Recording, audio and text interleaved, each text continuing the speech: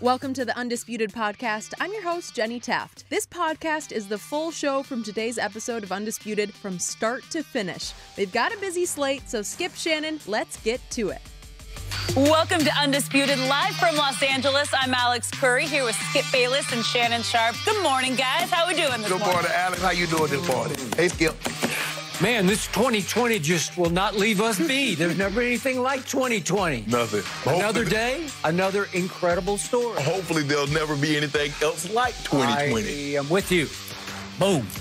And with that being said, we are getting today started with Eagles wide receiver DeSean Jackson. The three time Pro Bowler is facing criticism after sharing an anti Semitic quote that was attributed to Adolf Hitler. Jackson also shared admiration for Nation of Islam leader Louis Farrakhan. Now, Jackson has since said people took his post the wrong way and has no hatred in his heart towards anyone. The Eagles released a statement that, in part, said the posts were, quote, offensive, harmful, and absolutely appalling. So, Shannon, what do you make of this? Um, Skip, I had a conversation with D Jack last night, and uh, when I he uh, I put a message out to him, he returned my call, and I said, "Bruh, I need to know what you were thinking." He said, uh, "It didn't come out the way I wanted it to." I said, "Well, what were your point you're trying to make?" He said, "The point I was trying to make, Sharpe, was that if blacks were to put their money together, if we did black biz- uh, uh, banks and black businesses, we have more power than we realize." And he said, "If you look at the movement right now, it's showing that when we come together, we are a major force." I said, "D Jack, how did you expect somebody to understand that from what you posted?" Mm-hmm. I said, it was taken out of context. I said, D Jack, it wasn't taken out of context. You didn't provide context. I said, you can't expect the reader to provide context with something that you're retweeting. I said, you retweet that, you're co signing it. Yeah. I said, moving forward, the number one thing, if you quote Adolf Hitler, is wrong. So anything else that comes after that, nobody hears it because you just said Hitler and you're trying to portray him in a positive light. Mm. I said you have to provide context. I said you watch Skip and I regularly. I know how I know Skip because I talked to when the Super Bowl was in Atlanta. He and I had a conversation, mm-hmm. and I said Skip and I we always we joke a lot, but we try to provide context. I said we're talking about the Confederate and Confederate monuments. I mm-hmm. said in the context that I use, I said you don't see them putting up statues in Germany of Hitler. Now, I have to provide context because I'm talking about the Confederate monuments in the U.S. I said, if I just said they're not putting up statues in Germany of Hitler, someone's going to say, well, Shannon said they should have statues of Germany, uh, uh, of Hitler up in Germany. But I'm providing context saying you don't because of what happened. Yep. So that's what I'm doing. I said, D. Jack, I said, bro, you don't understand. I said, the, first of all, there's another problem that you have. I said, on Twitter, you only have 280 characters. I said, what you're trying to point out is more than 280 characters. That's something you're going to have to verbalize. You can't write it because there are a lot of times, uh, uh, D. Jack, I want to say things, but it's way more than 280 characters, and it's going to be taken like the way you're meaning it and the way somebody else reads it is two different things. I said, but you provided no context, and he thought about it. He said, "You're right." He said, "I didn't." He said, "But what I thought," I said, D. Jack. In 2020, we're very, we're hypersensitive. I said, you got to have context to what you're trying to, to trying to say. I said, now you put this out there. I said, people are upset, and rightfully so. I said, you have been, and he said, Sharpe, I ain't got no heart in my, uh, my uh, no hate in my heart for anybody. Jewish people, white people, and no nobody. I said, but you have to understand. I say, you're very prominent on social media. You're, you're, you're, you're Black Lives Matter and you're preaching uh, uh, um, and you're, you're protesting. I said, you have to understand, D. Jack. There are a lot of people that's skeptical of the movement, and they will do anything they possibly can to discredit you. Don't you discredit yourself by tweeting this. If we're all in this one love, mm-hmm. we love everybody, we want everybody to be treated equal, you have to be mindful of what you're disseminating on your social media. You have to be careful of what you're saying. I say, that's it. I say, you need to provide context. But even with context, let Hitler, let him be. Mm-hmm. N- There's nothing good can come of that. And that just goes to show, and, and I think this is a learning lesson from him. Skip, I really do believe he was trying to say, blacks, we have a, we're powerful. Even Killer Mike says we have one trillion in spending capital. If we were to spend in our communities, they would listen more. But because our do- dollar is spent so many different places, they don't value our voices. They don't value our ideas. Kind of like what he, I don't even know, I don't even think the, the, the, quote was really attributed to Hitler. Somehow it got tagged to him.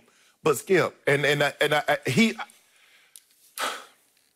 without seeing him, I believe because uh, uh, Skip, his owner, Mr. Lurie, mm-hmm. is Jewish. Mm-hmm. Howie Roseman, the general manager, is Jewish. Yep. And he's like, Sharpe, Howie brought me back.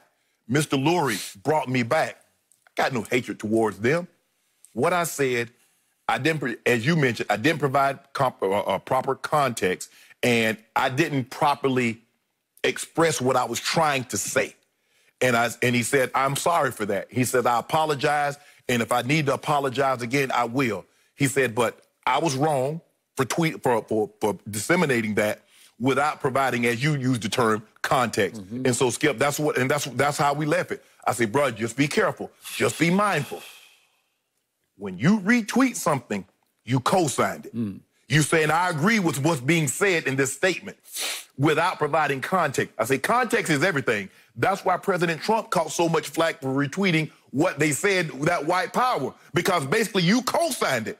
Correct. You got to provide context, especially in a time like this, because people, they're canceling people. And we know what that means. so, DJ, be careful. Okay. I appreciate you reached out. Mm-hmm. I appreciate he reached back. Yep. I've spent some time around DeSean Jackson. Mm-hmm. I've had a couple of good conversations with DeSean Jackson over the years. Yep. So I feel like I have some feel for him, maybe not the feel that you have for him. I believe he was contrite in his apologies, yes. which which went on all day long mm-hmm. yesterday. I appreciate that. So I look back at the the DeSean Jackson I've known, and he's been around. He's a sharp young man. Mm-hmm. He's now 33 years of age. Correct. He is entering his 13th season in National Football League. So, so he's not first year, second year, even third year. No. He's 13th year.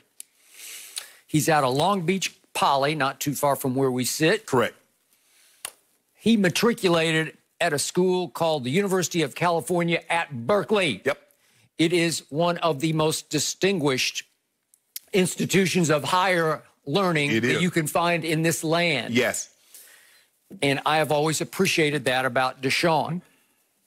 So, given all that, it's hard for me to give him the naive pass on this.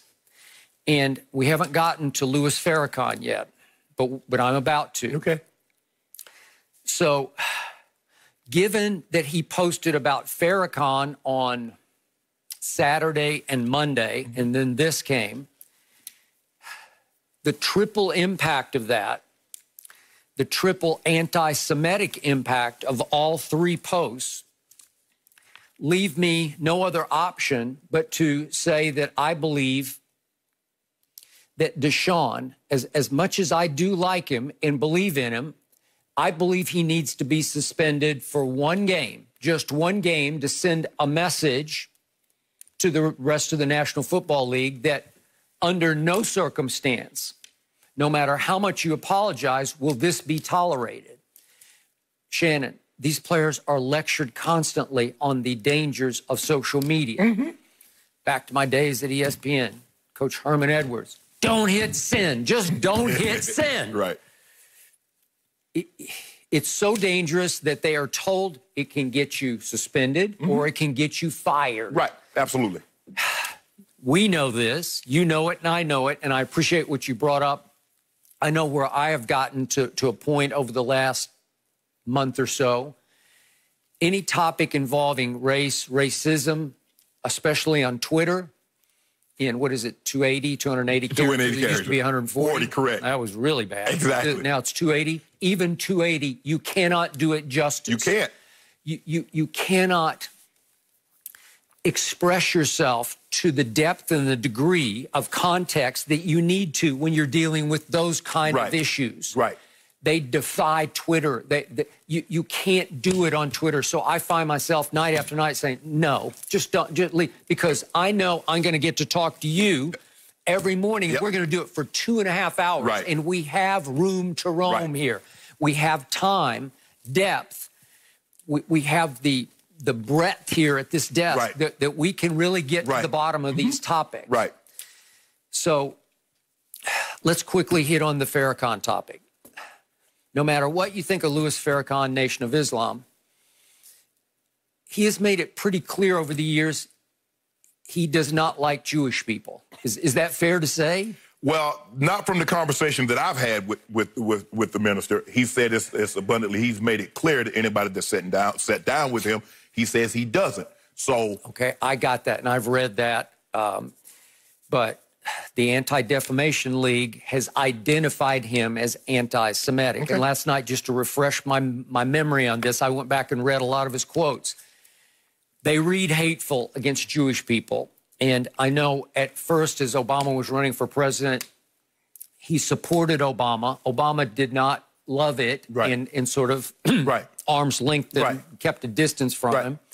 And then once Obama got elected, one of his early decisions, Louis Farrakhan criticized him as the first Jewish president. Mm-hmm.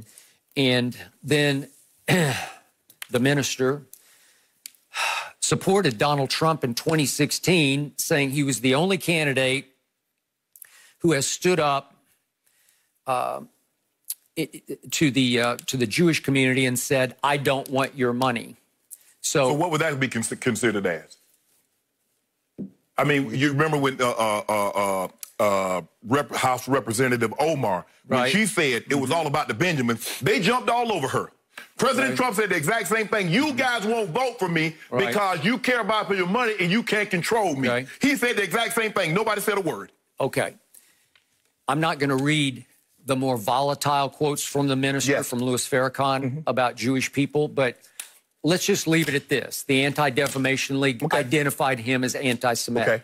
So if DeSean expresses admiration for Louis Farrakhan on Saturday and Monday, does that not set up a, then a quote attributed to Hitler? I don't even know if it's from Hitler or Right. not, but that's what we have we Right. all leaped to that Right. conclusion. But I've heard people say that that, that quote is not from Hitler. Okay. It might not be, but somehow it's been You're connected to- correct. And so, to, to your point, and, and I think DeSean knows this, I, I just can't believe he wouldn't have some feel for this. Once you go Hitler, Anything that comes after that, it- nobody wants to hear. you are you're talking about the ultimate, most infamous, devil incarnate, anti-Semitic who ever walked this earth. no question. So once you go there, and and if the whether or not the quote is from him, I hate to. I was going to read it. Now I look at it. I can't even read it. It's so bad. But it's just spewing hate. Right. But I get where DeSean was going because at the end of the quote, it's actually to use DeSean's word. It's uplifting to black people. Right. He uses the old school word for black people. All right. But it, it's basically saying that this plan, the Jewish people's plan in America, won't work if the black people know who they are and sort of stand up to them. Mm-hmm. Right. So he's saying, I'm going to up, th- this is true. Okay, so I get that part of Right. it. But to your point, the, the, the first three fourths of the quote Right. are, are it's spewing hate toward Jewish people attributed to Adolf Hitler. Correct. Okay. Whew. Okay, DeSean, you just can't go there. And and as you point out, the, the sort of the terrible irony of this is wait, your your owner and your GM are Jewish. And they they termed this post as appalling. Mm-hmm. And they went on to say that we are continuing to evaluate the circumstances and will take appropriate action. Right. I, I'm assuming they are considering whether or not to suspend him. Right. Okay, this leads us all the way back to what year was it? 2013. 2013. Riley Cooper. Mm-hmm. So allow me to say before you launch on this. Mm-hmm. The day after Riley Cooper happened, I was on the other show on ESPN and I just lost it. And I said, This man has to go. He has to be cut immediately because you cannot, no matter what state you're in, and as you always say, if you are inebriated, excuse me, inebriated, you're even more uh, likely mm-hmm. to utter your true feelings. Drunks, kids, angry people. Okay, there you go. And he was two of those three at that point, right? Yeah. And he used the N word, and I'm not talking about the one that ends in A. I'm talking about the most evil word in the English language, one that I've always said I wish we could eradicate it and make it illegal to use. Mm-hmm. The N word ending in the hard ER, and he made it plural right. because he was mad at ushers or security. The security people, wouldn't right? let him go backstage. Right. I think it was a Kenny Chesney concert. It was a, it was a country, country western yes. in Philadelphia. Mm-hmm. And I just said, that's enough. He must go. There's no way the black players on that, that team can live with him the rest mm-hmm. of this football season. And to my shock, I was stunned. I was dumbfounded that Michael Vick, whom we have on our mm-hmm. show regularly, stood up a day later for Riley Cooper and I think saved his job. Mm-hmm. But not only did he save his job under the Chip Kelly regime, mm-hmm. they sent him home for the weekend. I don't know what that was. that was the quote unquote suspension of it to, to sort of cool out, whatever. But once Michael said, you know, I've always thought he was a good dude, that was it. Chip Kelly said he will be an Eagle, and very shortly thereafter, they gave him a new contract. They did. Wasn't it like five it, years, 25 They million? gave, uh, this happened, um, I think, July, August. Mm-hmm. I think it mm-hmm. happened June or July of 2013. July. And he got an extension, I think, February, March of okay. 2014. All right. Boom. There we go. Mm-hmm. That was so wrong. And yet, you can flip then into 2020 and say, well, wait a second if they let Riley Cooper get away with that, shouldn't they be okay with DeSean? No, they shouldn't be okay, okay. with it. Let's not be okay, okay with I, it. I'm with you. For me, the two wrongs don't make the classic right. Correct. So I still say that no matter how contrite DeSean is, that he he has to be suspended one game just because th- this is this is the message that has to get sent, especially in the time we're in right, right. now. Any sort of hate like this displayed on social media cannot be tolerated. Right. And I feel for DeSean, and maybe he was naive, but I think in year 13 out of Cal Berkeley, you, you can't get that kind of a pass. Right. I just think the thing is, is like you mentioned, it's it's almost like a throwaway, Skip. That's the last thing after you mm-hmm. four or five pages when you could have got to made your point earlier. Just put that in there blacks, we have so much more power than we realize. If we were to come together, Great. if we were beautiful, fit, yes, oh, we, go for our it. banks and our businesses, no matter the no, no matter what that business is, we have a voice. We're, you can see that right now that we have a lot of power we, we, we didn't realize how much power we have mm-hmm. until the George Floyd situation, because now it's kind of galvanized America and this thing spread, not just America, it went all across the world. Mm-hmm. All 50 states had protests all across the world, they were protesting. And so, Skip, for me, I do believe D-Jack, and like, I, like you said, and like I said, Skip, some things are bigger than Twitter and you can't explain yourself. Skip, they say a lot of times things get lost in translation or you're writing something down. Well, that's not what I meant. Yeah. Well, and and and I got to, well, Shannon, you're not going to say anything about this. You're always tweeting about right. People got upset with me because I hadn't responded yet because they wanted me to respond when they wanted to. They wanted me to exp- talk about it when they wanted me to. No, I'm going to do it on my timeline. And if I'm going to talk about something that's going to go in depth, I'm going to do it on our show, not on Twitter. Totally agree. Because I would be end up 55. See, one, two, two, three. No, no, no, no. I can explain myself you could better. Write a book about this. Exactly. Yes. But Skip, we're gonna have to be careful because we ask black people to disavow a lot of people. You remember when President Obama was running for office, he had to disavow Reverend Wright. He has to disavow. Whites never have to disavow. No, I agree. They stand I, in lockstep and barrel. Jerry Jones, Mr. Kraft, stand lockstep and barrel with Donald Trump, and nobody has asked them to disavow them. But when it comes to black people, mm-hmm. and we know what President Trump has said, we know what he's done, mm-hmm. but nobody's asked. He stands up there, good people on both sides. But the moment they black, now Skip, where's our guy? Because you know in situations when whites say something bad in the NFL, they get Tony Dungy. Mr. Tony, he'll clean up everything. Where's our guy? Where's the person that we have if a black slips up that's in the Jewish community mm-hmm. that can come to our defense? Mm. Like they send Tony Dungy out there to go to everybody else's defense. Mm. I'm not excusing. as I told D-Jack, he DA, he was dead ass wrong for what he said. Okay. And what he no, what not what he said, what he tweeted, because it's basically like he's saying because if you retweet something from your uh, from yours, is you saying it, you're co-signing it.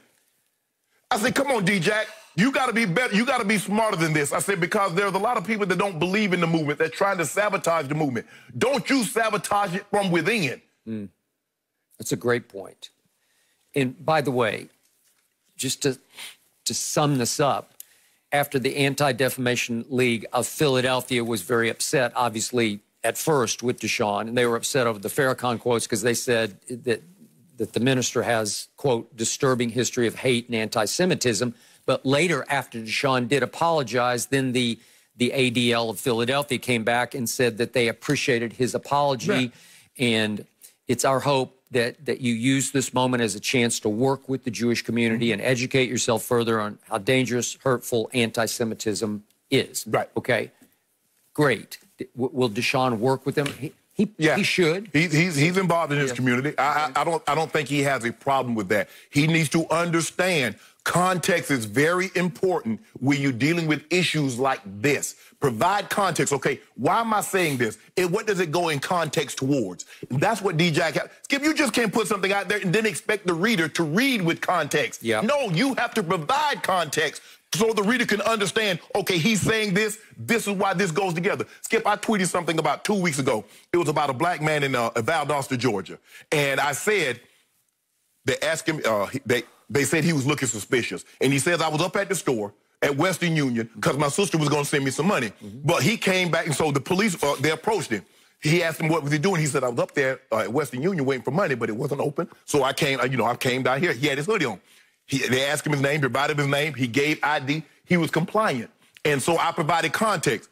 He was compliant. He provided the ID. Yet here we are. Because they say, be compliant, provide ID. He did everything that was asked. Yet a broken wrist later, he's suing the uh, uh, Valdosta, uh, uh, uh, police. Here we are, Skip. Context. Boom, boom, boom. You laugh step by step. D-Jack, you just can't tweet and says, okay, reader, understand, decipher what I meant by that. No, that's not the reader's job. That's your job to provide context for what they're about to read. Yep. But uh, moving forward, anybody, you will be 100% okay if you don't quote Adolf Hitler. Mm-hmm. 1,000% of the time, you'll be okay because nobody wants to hear anything unless you said he was the most murderous, the most notorious dictator in the history of mankind. Unless you say something like that, nothing good. Even probably his, his relatives try to distance themselves from him moving forward. They probably change their name because you don't want that. I ain't heard anybody named Hitler since. Mm. You- But you got your name up off that. Skip. I don't want that tag. You got it. I'm with you. Now, we all know that people make mistakes, and Yeah. we want to believe that DeSean Jackson just made a big mistake. And what matters most is that you learn from it and you grow from it. No mercy. The WNBA's Atlanta Dream co owner and Georgia Senator Kelly Loeffler has been publicly critical of the Black Lives Matter initiative in the league. Yesterday, Loeffler opposed the Black Lives Matter patches that the WNBA plans to use on jerseys. She said, quote, the truth is we need less, not more politics in sports. Shannon, how will this play out? Yeah, here she is. Skip, I thought we needed less politics in sport. What is she? Is she a basketball player? Skip, I- I'm confused. You see, this is what's confusing to me. Oh, we need to keep politics out of sports and sports out of politics. She's a senator from Georgia, my state. And here she is commenting. Miss Kelly, now, although she was not elected, she was appointed by the governor, Brian Kemp. Mm-hmm. Skip, I don't see how she remains in her role as an owner of the dream because her messaging and her brand and what she's aligned with does not seem to align with the inclusiveness of the WNBA. Now, I could be wrong. Maybe I'm overreading it, but I don't think I'm wrong on this one, Skip. This might be the WNBA's Donald Sterling moment. Now, uh, uh, the, the WNBA Players Association tweeted, enough, out, capital, everything capitalized. Uh, Sue Bird, uh, who else tweeted? Sheryl Swoopes, Yep. they, Breanna Stewart, Brianna, I think that's the name. That's that's you're right. Yeah. They've all made it abundantly clear they're not comfortable with her being in her role as a co-owner of the WNBA. And I don't know how this is going to play out, Skip, but it's probably going to be my guess. There's a good chance they're probably not going to play until she goes Mm-hmm. Uh, because with the inclusivity of what they try to provide with the WNBA, they accept all black, white, LGBTQ. It doesn't matter. If we're one, we want to be treated the same, and that goes against what she what she's preaching because she had a big issue when the blacks were protesting with firearms and what when the whites protested with firearms because she's strong Second Amendment. And this is what I tell I was telling somebody say you want them to change the Second Amendment, let legal black people start getting guns and carrying them around. They'll switch it just like Ronald Reagan did in 60, what was 67, 68 when the Black Panthers started doing that in California and they changed the rules. Mm-hmm. You want to do so, if you want something changed, let black people get on board and start doing a bunch of it. And you see how fast they change the law. Mm-hmm. But Skip, I believe she's gonna have to go. The, what, what, the, what, what she's aligned with and where the WNBA is, Skip, they don't line up. They don't line up. I don't see how she stays. Mm. So before I get to my opinion of this, let me step back for a second and say if you tried to sell this script as just a TV movie script in Hollywood, you'd get laughed out of the office. Yes. Because think of what we have here. Step back. What do you call Atlanta? I know Washington's always been chocolate city, but but Atlanta has become a black capital, right? of- of- Absolutely. in, in this country. Yes. So here you have the WNBA team in Atlanta, mm-hmm. Georgia, suddenly being co owned by a white woman who then becomes the senator from Georgia. And at the height of the Black Lives Matter movement, suddenly she makes public a letter that was intended, I thought, only for the eyes and ears of the commissioner of the league, mm-hmm. in which she is scathingly against Black Lives Matter. Yes. What? Mm-hmm. It cannot happen. But it did. Mm-hmm. And just for the record, last year's Atlanta Dream, the top eight scorers on that team were either black or minority. Correct. Okay, so it's not like they have three white star, what- whatever. This this is this is Atlanta we're talking Yeah. about. Okay, to your point, if you run back through her history, the irony was she actually grew up on a farm in the central part of the state of Illinois, in a little town outside a little town called Stanford, Illinois. Mm-hmm. She goes to the University of Illinois, downstate, mm-hmm. Champaign. Champaign. Then upstate to DePaul for her master's in Chicago in business. Mm-hmm. And then she works her way sort of up the business chain up, up until she joins a company, a very powerful company, very successful company. And within a couple of years, she marries the CEO of that company. So now she has money and she buys her way into the WNBA first as a minority owner, and then she and another woman buy out the other majority owner, and they become co-owners. I think it's been about two years ago of this team. Right. Hmm. Interesting. And then to your point, she doesn't win an election. She gets appointed by your governor of your state to become the, the sort of the junior senator, right? Yeah. And Senator now Isakson had to step down Yes. because of health related. There you go. So now she must be elected this coming November. And we know November 3rd is going to be a big day for this Yeah. country, but it's going to be a big day for your state also. yes. Because she is she now must be elected mm-hmm. into that post. Right. So to me, as you pointed out, the the the laugh out loud moment here is that she's saying we we actually need less politics when this is clearly a page right out of President Trump's playbook. She, he's, Okay. she's the parent sitting right on his tro- Okay. uh, shoulder, right. echoing everything that he's She's saying. obviously made it very clear she's a staunch Trump supporter. Correct. So now, as a Republican, she's not really the incumbent. She's just got to, to keep her Right. to keep her position Correct. in the Senate. She needs to get elected in Georgia. Right. So she's doing exactly what President Trump has been doing lately with his Bubba Wallace tweet, and then mm-hmm. his tweet about the pro football team in Washington and the professional baseball team in Cleveland Right. he he is reaching back out once again to what whatever is left of the far right that helped vote him into office in 2016. Correct. And so is she. To Right. me, you could call it perhaps desperate because from what I hear and read about your state of Georgia, for the first time since 1992, when majority in Georgia voted for Clinton, Mm-hmm. it is becoming a swing state, as in It could go one way. way or the Correct. other, Yeah. right? Yes. So that could also affect her ability to win her Right. election, Right. right? So to me, this was nothing but a political attempt. It's a it's a campaign speech, Mm-hmm. right? This is who I am. This is what I stand for. Right. I'm not sure she really cares about continuing on as the co-owner Right. of this team, or there's no way. It became public, and I, I don't know this for a fact, but my best guess is that she made it public. She leaked mm-hmm. her letter to the commissioner as opposed to the commissioner leaking the letter. Right. It, it could do her a lot more good politically than it would be do good for the commissioner to Well, she'd have came out better picking up the phone and calling the commissioner. that way she could have Yeah. denied Oh, everything you- that was okay. said. Well- but now she got a paper trail. You can't deny the trail. Th- this was scathing to the point. I, I just have to bring these up, these points up, because she's saying, I adamantly oppose Black Lives Matter political movement, political movement, which has advocated for the defunding of police, maybe a little bit here and there, but called for the removal of Jesus from churches and the di- disruption of the nuclear family structure. Wow. Talking about a broad brush, right? What? It, it's it, it's hate filled. Mm-hmm. It's it's hate fueled.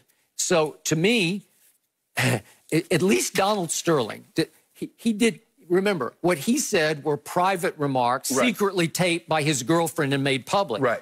Well, Kelly Loeffler, what, I, I'm pretty sure she, th- this this is she wanted Right. this in every headline and on every website. Well, there's no question that she's willing to down the Trump hill. Yeah. I mean, she she's Yeah. everything that he Yeah. is, she is. Right. And so I, you know, and, and I guess uh, kind of everybody, all the Republicans have lined up behind him. Okay, be it that's your party, you support your party. I'm sure the Democrats. I don't know if they'd have lined up behind President Obama quite like this here, but that's mm-hmm. neither here nor there. Skip, it's just for me when you look at it and you step back and you say, like, okay, the, the WNBA, and, and they've kind of been uh, right alongside the, uh, the, uh, the NBA, Skip, with the T-shirts, the I Can't Breathe, and, and the hoodies and things of that nature.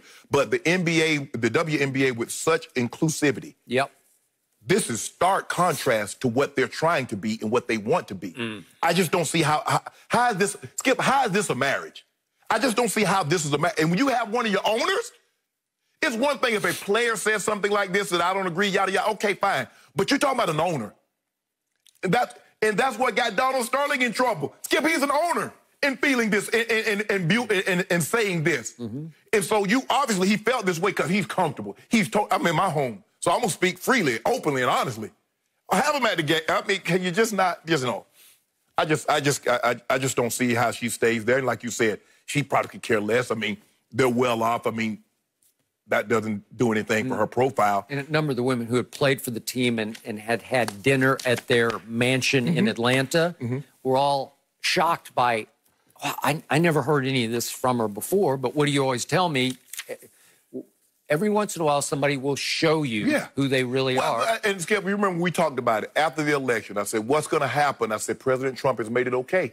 He's made it cool. He's made it fashionable mm-hmm. because now you can say things. Well, there's no more. P- they say PC culture. There's no more PC. I can say how I feel. He's made it okay. It used to be in the shadows. People like, nah, I ain't gonna say that. I mean, every once in a while you get the openly and blatant ones, but now everybody feels comfortable. Oh yeah, you heard what he said. The president said I can say it too, and that's not okay. That guy should be held to the highest of standards.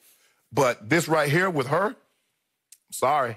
Come on, Georgia. I know we better than this. We need to vote up out of there. Uh, Skip, I don't know. We, we got them fringe counties. I think there's 100 and there used to be 150 counties. I think. I think it's maybe 148, 147, 449, something like that. And it's not. It's when you start getting outwards. Is that where she? Because she's not winning Atlanta. She's not winning the Cobb. Probably Decatur, but it's that's only three counties. She probably gonna win Chatham. You know, she probably win Bibb. What's your county? Glennville. What- uh, Tattnall. Oh, she went in Tattnall. She went in Tattnall. Evans County, all of them. No mercy. Patrick Mahomes currently has the NFL World Spotlight after signing his record setting extension for nearly half a billion dollars. Meanwhile, Tom Brady is on the back end of his career looking to make a statement with perhaps the best receiving group he's ever had. And this season, according to Fox Bet, Mahomes is predicted to have 36 and a half touchdowns, while Brady's number is 29 and a half. So, Shannon, who has the better offense next season, Mahomes or Brady? That's hmm. not even close. Not even close, Not even says Shannon. Not Sharpe. even close. No. One guy's in a Ferrari, the other guy's in a Tesla. One guy ain't making no noise. Not bad. Ain't, no, he ain't making no noise. You can't even hear no Tesla. I'm at the like, is that car even on? Hmm. Do I need to call uh, AAA and get you some assistance? Because I don't hear your car running. You just pulled up at the stoplight. and the other one, oh, stop it, Skip. But you ought to be ashamed of yourself. I haven't spoken. You ought to be ashamed of yourself because here's the thing. Here's a guy that's been at the helm of his offense for three years, and one guy's just coming in after four months. So he's just gonna just pick, just take off. Stop it. You know better than that. My homeboy's gonna show y'all. He's like, you know what? I just got 503 mil, but I should have got a bill because I'm underpaid.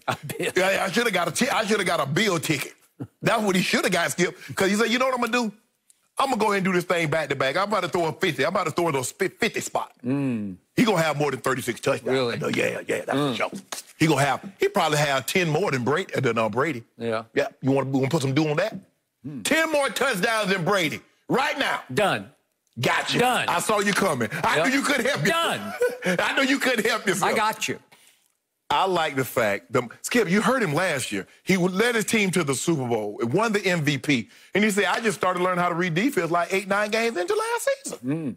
Can you imagine? I, I will give you that. Ooh, I'm, I'm not sure he was reading them in the Super Bowl. there you go. There you- He may, He be, need- he may be studying that Super Bowl tape right now. I, you- I, I blew that one and I missed that read. And You know what? He's the type of guy Yeah. that don't take any notes, don't even show up to class, and then pass the test. How you do that? You ain't even take no notes. You ain't got nothing. Savant. Hmm. Yeah. Yo guy Skip, he got to take all them notes. He got to break quarantine and be where he's not supposed to be, Hmm. breaking in people's houses, in the parks when they go in quarantine and say uh, social distancing. Stay inside. He outside. He's practicing. My guy just doing what he's supposed to. Mm. Skip, this is not even close. Give me Tyreek. Give me Hardman. Give me Watkins. Give me Kelce. Give me Mm. that offensive line, and give me my homeboy. I'm good. Really? Yep. Speaking of a bill, maybe the Chiefs should have sent Mahomes a bill for the interceptions he threw in the Super Bowl. If we could just quickly see those again, there's one late in the third quarter. They're down 20 to 10 at this point. I thought this was game over because Mahomes drops back and he throws it, and it's so far off target. It's a big pick. The guy, uh, uh, the guy went up under the route. I mean, the deep, uh, the linebacker made a great Wait, wait, wait. What, is that open? Is that open? Wait a second. And and here we go. Oh, that's that same play. Then early in the fourth quarter, it's the next possession. He does it again. he repeats it. He throws another pick. A little And- behind and, it. and it is a sorry pass. It was a little It is behind a it. sorry pass, and they're still behind 20 to 10. And it's a little, low and outside Yeah. to Tyreek, Yeah. who took a, he got he paid for that one. He took a shot. But he got it back. And then, of course, a couple of minutes pass, and now it's mid fourth quarter, and you're still trailing, and it's third and forever. And he throws this this punt to Tyreek with a rusher in his face. It's kind of a no look pass because I think he knew Tyreek was in the area Yeah. code of this ball, Yeah. but so could a 49er have been. No. This could have been intercepted. That could have been game over. It was 7 13 left. And he got away with pulling off the play of the game in the Super Bowl. Nice. And it wasn't exactly textbook. It was textbook. Okay. And and then the only reason he kept getting away with this is because in the fourth quarter, his opposing quarterback was named Jimmy Garoppolo, who went three for 11 in the fourth quarter for a grand total of 36 yards and missed Emmanuel Sanders wide open with a big step on the defense, what- right at the goal line with a minute 40 left. What did that have to do with my homeboy? Well, I'm he did what he was supposed to do. Yeah, but if if this ball gets completed as it should have, he's got a big step there. If that ball's completed, they're up 27-24, and maybe your guy is the hero. Maybe he pulls them back again. It's a minute and a half to Then go. What's, what's three points when you've been down by 24? Okay, when you've been down by 10? You, you could be, but this was San Francisco and this was a Super Bowl. And Mahomes had not played very well up to this point. He had a grand total of 62 QBR in this game, scale 0 to 100, so it was just barely above I know a guy who won a Super Bowl had a, a QBR worse than that the previous year. Let's talk about that guy. Yeah, let's we? do.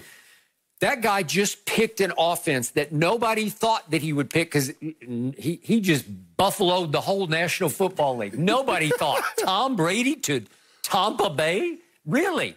Why did he pick that offense? Because Jameis Winston last year led the league in passing. Okay. He was second in the league in touchdown passes. He was three shy of Lamar's MVP 36. He Yeah. had 33. So led the league in passing, second in touchdown passes. Meanwhile, he had 12 more turnovers than any other quarterback. By 12 turnovers, he was number one in turnover. That's hard to do. Right. That's a record that will never be broken, I think. and meanwhile, his his turnovers were 26 more than Tom Brady had in New England last Yeah. year, in which he had arguably the worst supporting cast, at least the worst receiving corps in all of pro football, according to Pro Football Focus, last in separation. But he only had 26 fewer turnovers than Jameis. Well, think about how he's going to clean up Jameis's act this year. And again, I'm a Jameis fan, and, and he, in stretches last year, he was sensational. Mm-hmm. He does have a bigger arm than Tom has at this point. Mm-hmm. I will give you that. Mm-hmm. But we are talking about the GOAT. We are talking about pliability plus GOAT equals here we go again at age 43. Your goat is a landline fisher. He fishes from the Okay. bank. But Jameis, Jameis Okay. is a deep sea fish. He's uh, uh, throwing the Okay, ball. and- which is why he got sacked 47 times to Tom Brady's 27 in Foxborough. Hold on. Now they said the offensive line was rated what last year, Mm-hmm. and what are they rated this year? Okay, I'm glad you brought that up. That was my next point. They were seventh in the league last year, which is pretty good, and still get about 47 sacks Mm. Yeah. because Jameis is holding it and holding it And and, holding it. I'm going to throw a home run. I'm going to throw a home run. Boom! I got hit again, and I lost the football. That happened way too often, which is why they went seven and nine last year with all those yards and nothing to show for it. Okay, that seventh ranked offensive line is going to replace the right tackle with a rookie named Tristan Wirfs out of Iowa. They traded up a spot from 14 to 13 to snatch him. Right. I had him ranked the second of the four stud left tackles. He can go either way, but he'll now start out as the right tackle in Tampa. And Pro Football Focus concluded if he grows into that job, they're going to be a top 10 offensive line again. Kansas City's offensive line last year was ranked 16th, and they, now they have it up to 12th. I'm not sure why, but but the, it, Tampa's could be a little better than Mahomes this year if Tristan Wirfs lives up to what I think he And you will. got to realize last year Eric Fisher missed a lot of time with an injury. Skip, you guys on Tampa, your offense is not better in any position. You're mm-hmm. not better at quarterback. You're not better at offensive line. You're not better at the skill mm-hmm. position, and you're definitely not better at coaching. Because I mm-hmm. take Big Red over Bruce Arians. How about that? You know, I wouldn't have before last year, and Yeah, all of a sudden he's riding on because he Yeah, finally won him a Super Bowl. Put his best he, he had a hard time in lots of NFC, AFC championship games, but man, he finally broke through last year, and thanks to Jimmy G, he got him a Super Bowl. How many how many Super Bowls Bruce Arians won as a head hmm, coach? Well, okay, we- we're about to have one. No, you're not. You're not, you're not Yeah. about to have any. So last year, you ready for this? Pro Football Focus, speaking of, ranked Tampa's receivers number one in pro football. Number one. Yes. Last year, your receivers in Kansas City were ranked eighth, one to 8 Uh, I would say that would be advantage Brady because last year they didn't even have this guy named Rob Gronkowski, who is now out of football for a whole year healthy. He's healed up. He's refreshed. He is reunited with his soulmate GOAT quarterback, TB12, Tom Brady. Magic is going to start happening again just with Gronk. And by the way, speaking of that, the, the number one ranked receiving corps, guess who they added? They went down in the fifth round and they got a receiver named Tyler Johnson. And by the way, Pro Football Focus also had him ranked the number one receiver. That he was their highest graded receiver in all of college football over the last two years. His stats are a little better over two years than CeeDee Lamb's or Jerry Jeudy's. Your guy's Jerry Jeudy, my guy's CeeDee Lamb. Okay. Tyler Johnson's stats were a little better. He did not run the 40. I don't think he's very fast. I think he's 4 6 ish. That's what I believe. But I watched some Minnesota games last year, and I must, I always tell you, sometimes players just flash to me on the TV screen. Mm-hmm. Every time I turn on Minnesota, that guy's catching another pass.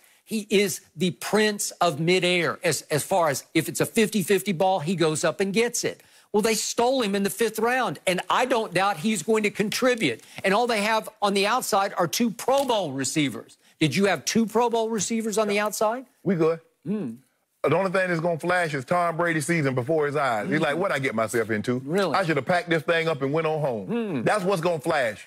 I've been warning you about little Scotty Miller. He was only a Oh, seventh round pick out of. Bowling Green, but we're talking a little Edelman, a little Amendola, all mixed together because he has lightning short area quickness. Watch him in the slot. Watch him move and groove in the slot. He is going to get open a lot and he's going to catch a lot of balls underneath because they not only have Gronk, but they have OJ Howard who ran 4-5 at what's he weigh, 260? Yeah. You see uh, uh, Jameis throwing that ball over the top. That ain't Brady's game. Okay. Brady will play Brady's game. Yeah, I know. You just give him weapons because he had none last year. He had Julian Edelman beat up, broken down.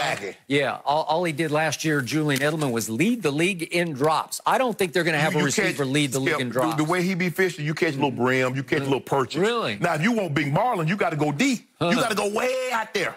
And then when you hook one back the boat down, that ain't how Tom Brady fish. Mm. And he just- had, got a little remember- cane pole fishing right there. on the Okay, well, speaking of Dinkin and Dakin, I told you after the draft, there's this this little man out of Vanderbilt University named Ke'Shawn Vaughn. Oh, there you go. Ke'Shawn Vaughn. Remember the name because he can catch it as well as he can tote it. And he is stout and he is explosive and he will catch a bunch of little dink and dacks from Brady and he will take them an extra six or eight yards. You just watch. He's got his James White. So in other words, You just watch. Oh, so just throw him the damn ball, huh? Oh, that, that Uh, Ke'Shawn. that Ke'Shawn, just throw him the damn ball, and, and they will. Okay. So I just gave you so many weapons that they have an embarrassment of weapons. I don't even know how Tom's going to keep them all happy, but you know, and I know that he will figure it out.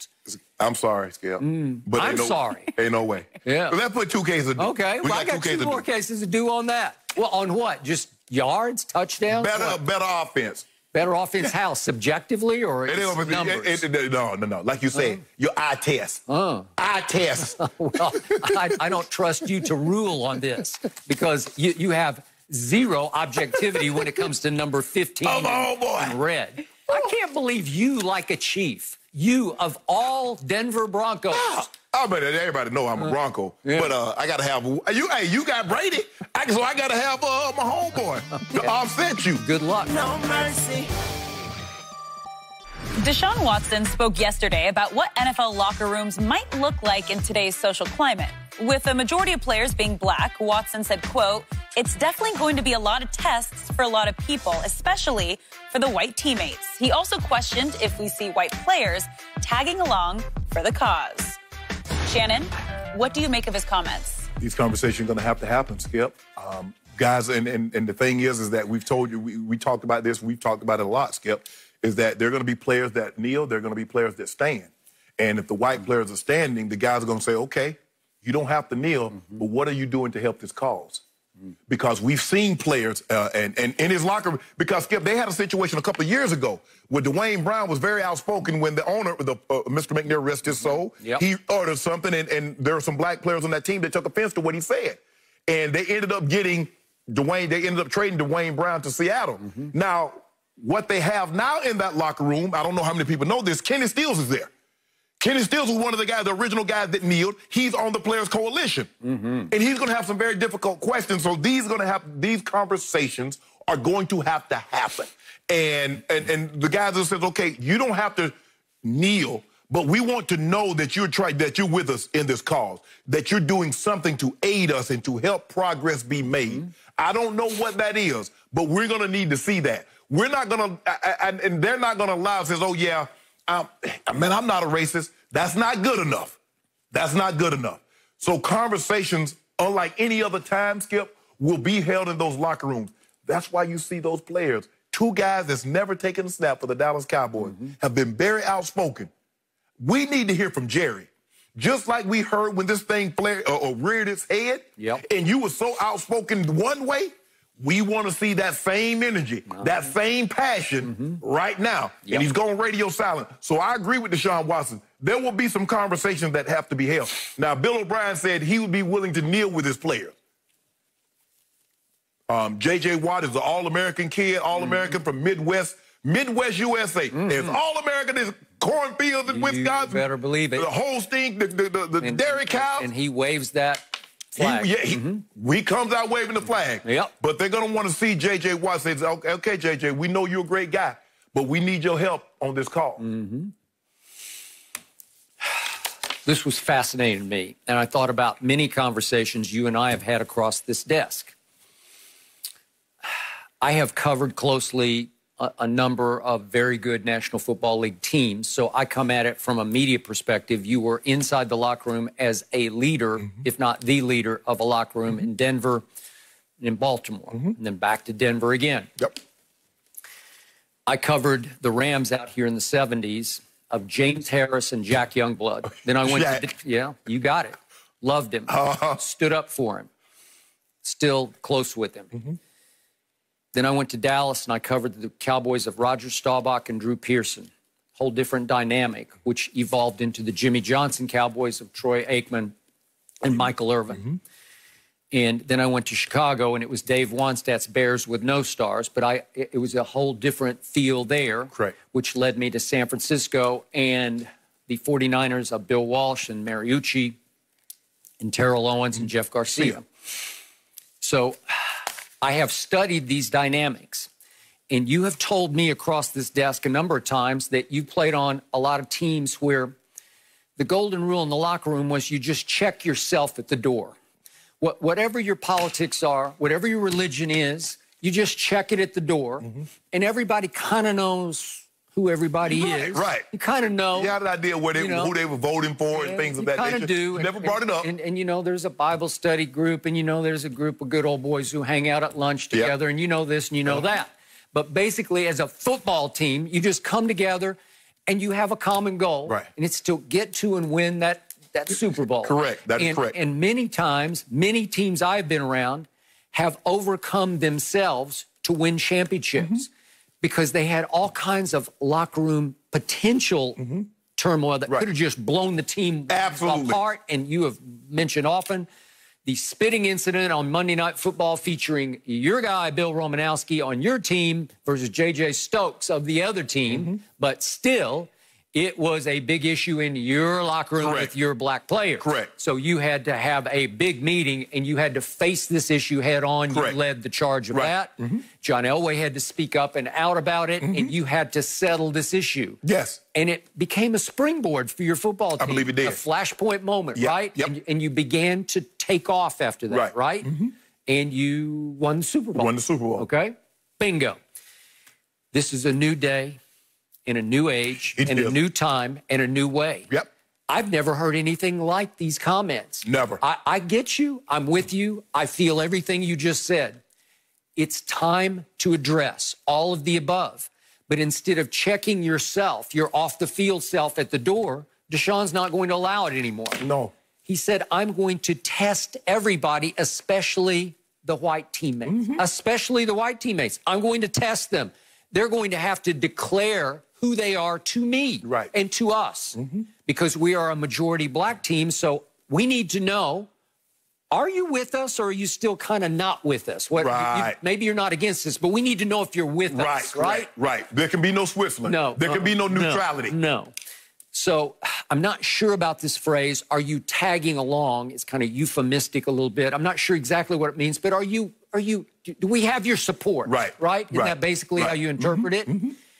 That's a powerful statement. And the irony of this statement is it came on a, a YouTube live, I believe it was, featuring the moderator, Carmelo Anthony. Right. And the reason that Deshaun was on in the first place, he has written a book on leadership, National Football League quarterback leadership. It's called Pass It On.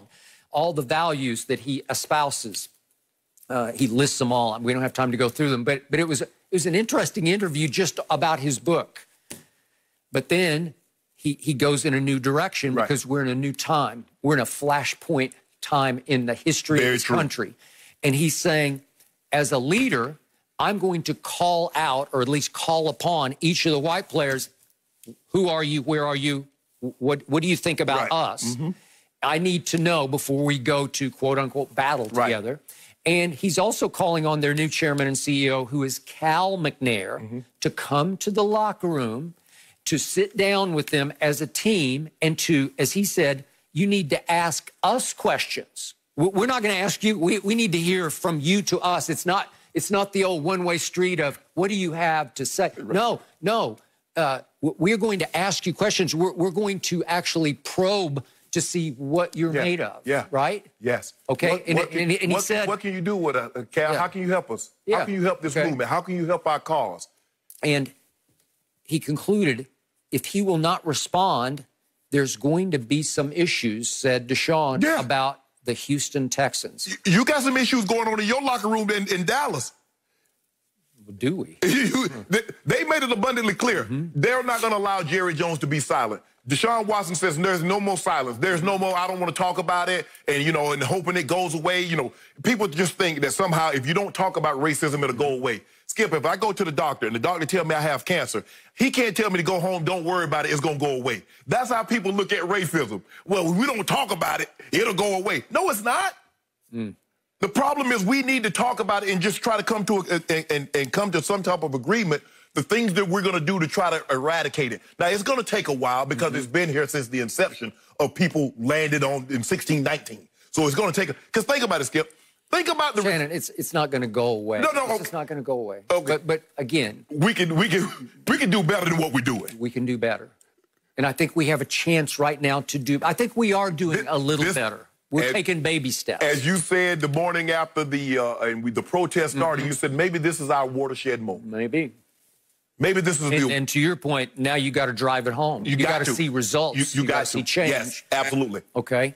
It- this is what you can't have happen in 2020. Remember what happened to the Steelers, and I believe it was 2017. Well, Remember but- kneel or not That- kneel, right. and they're conflicted, and they have a meeting on Sunday morning at the hotel in Chicago.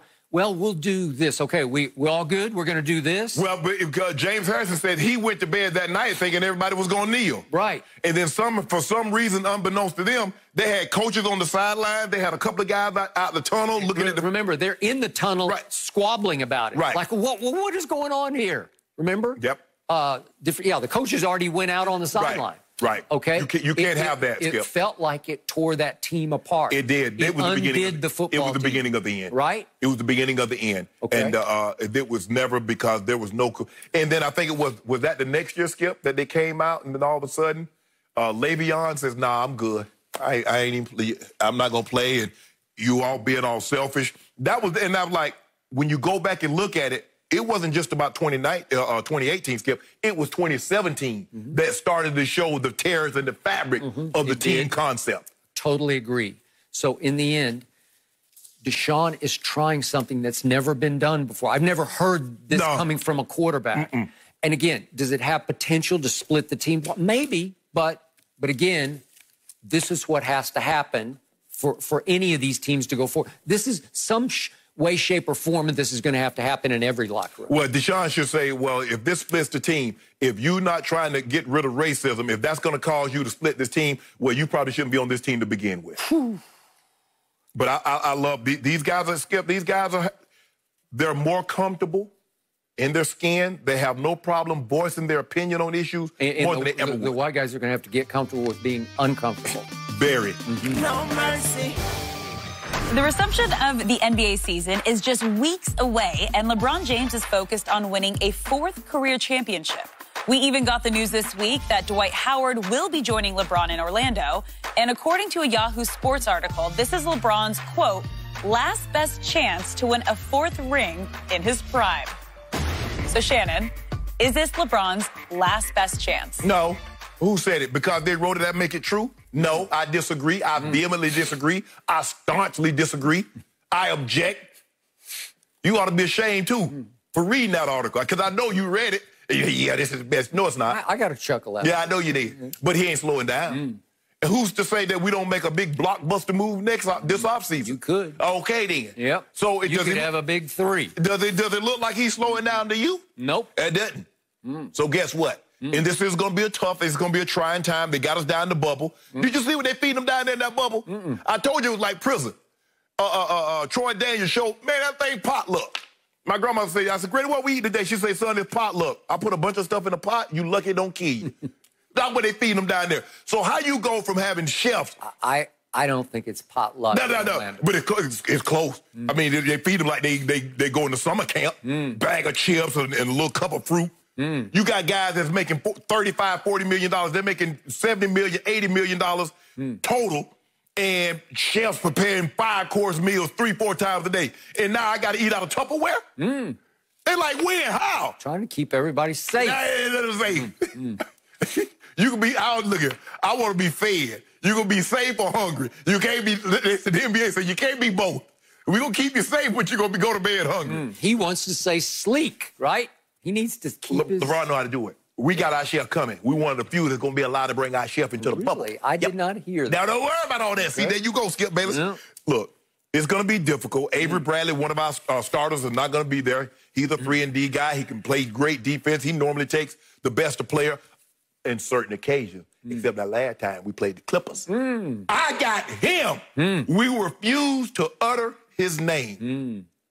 Trade old Benedict Arnold. Mm. But that's okay your day coming.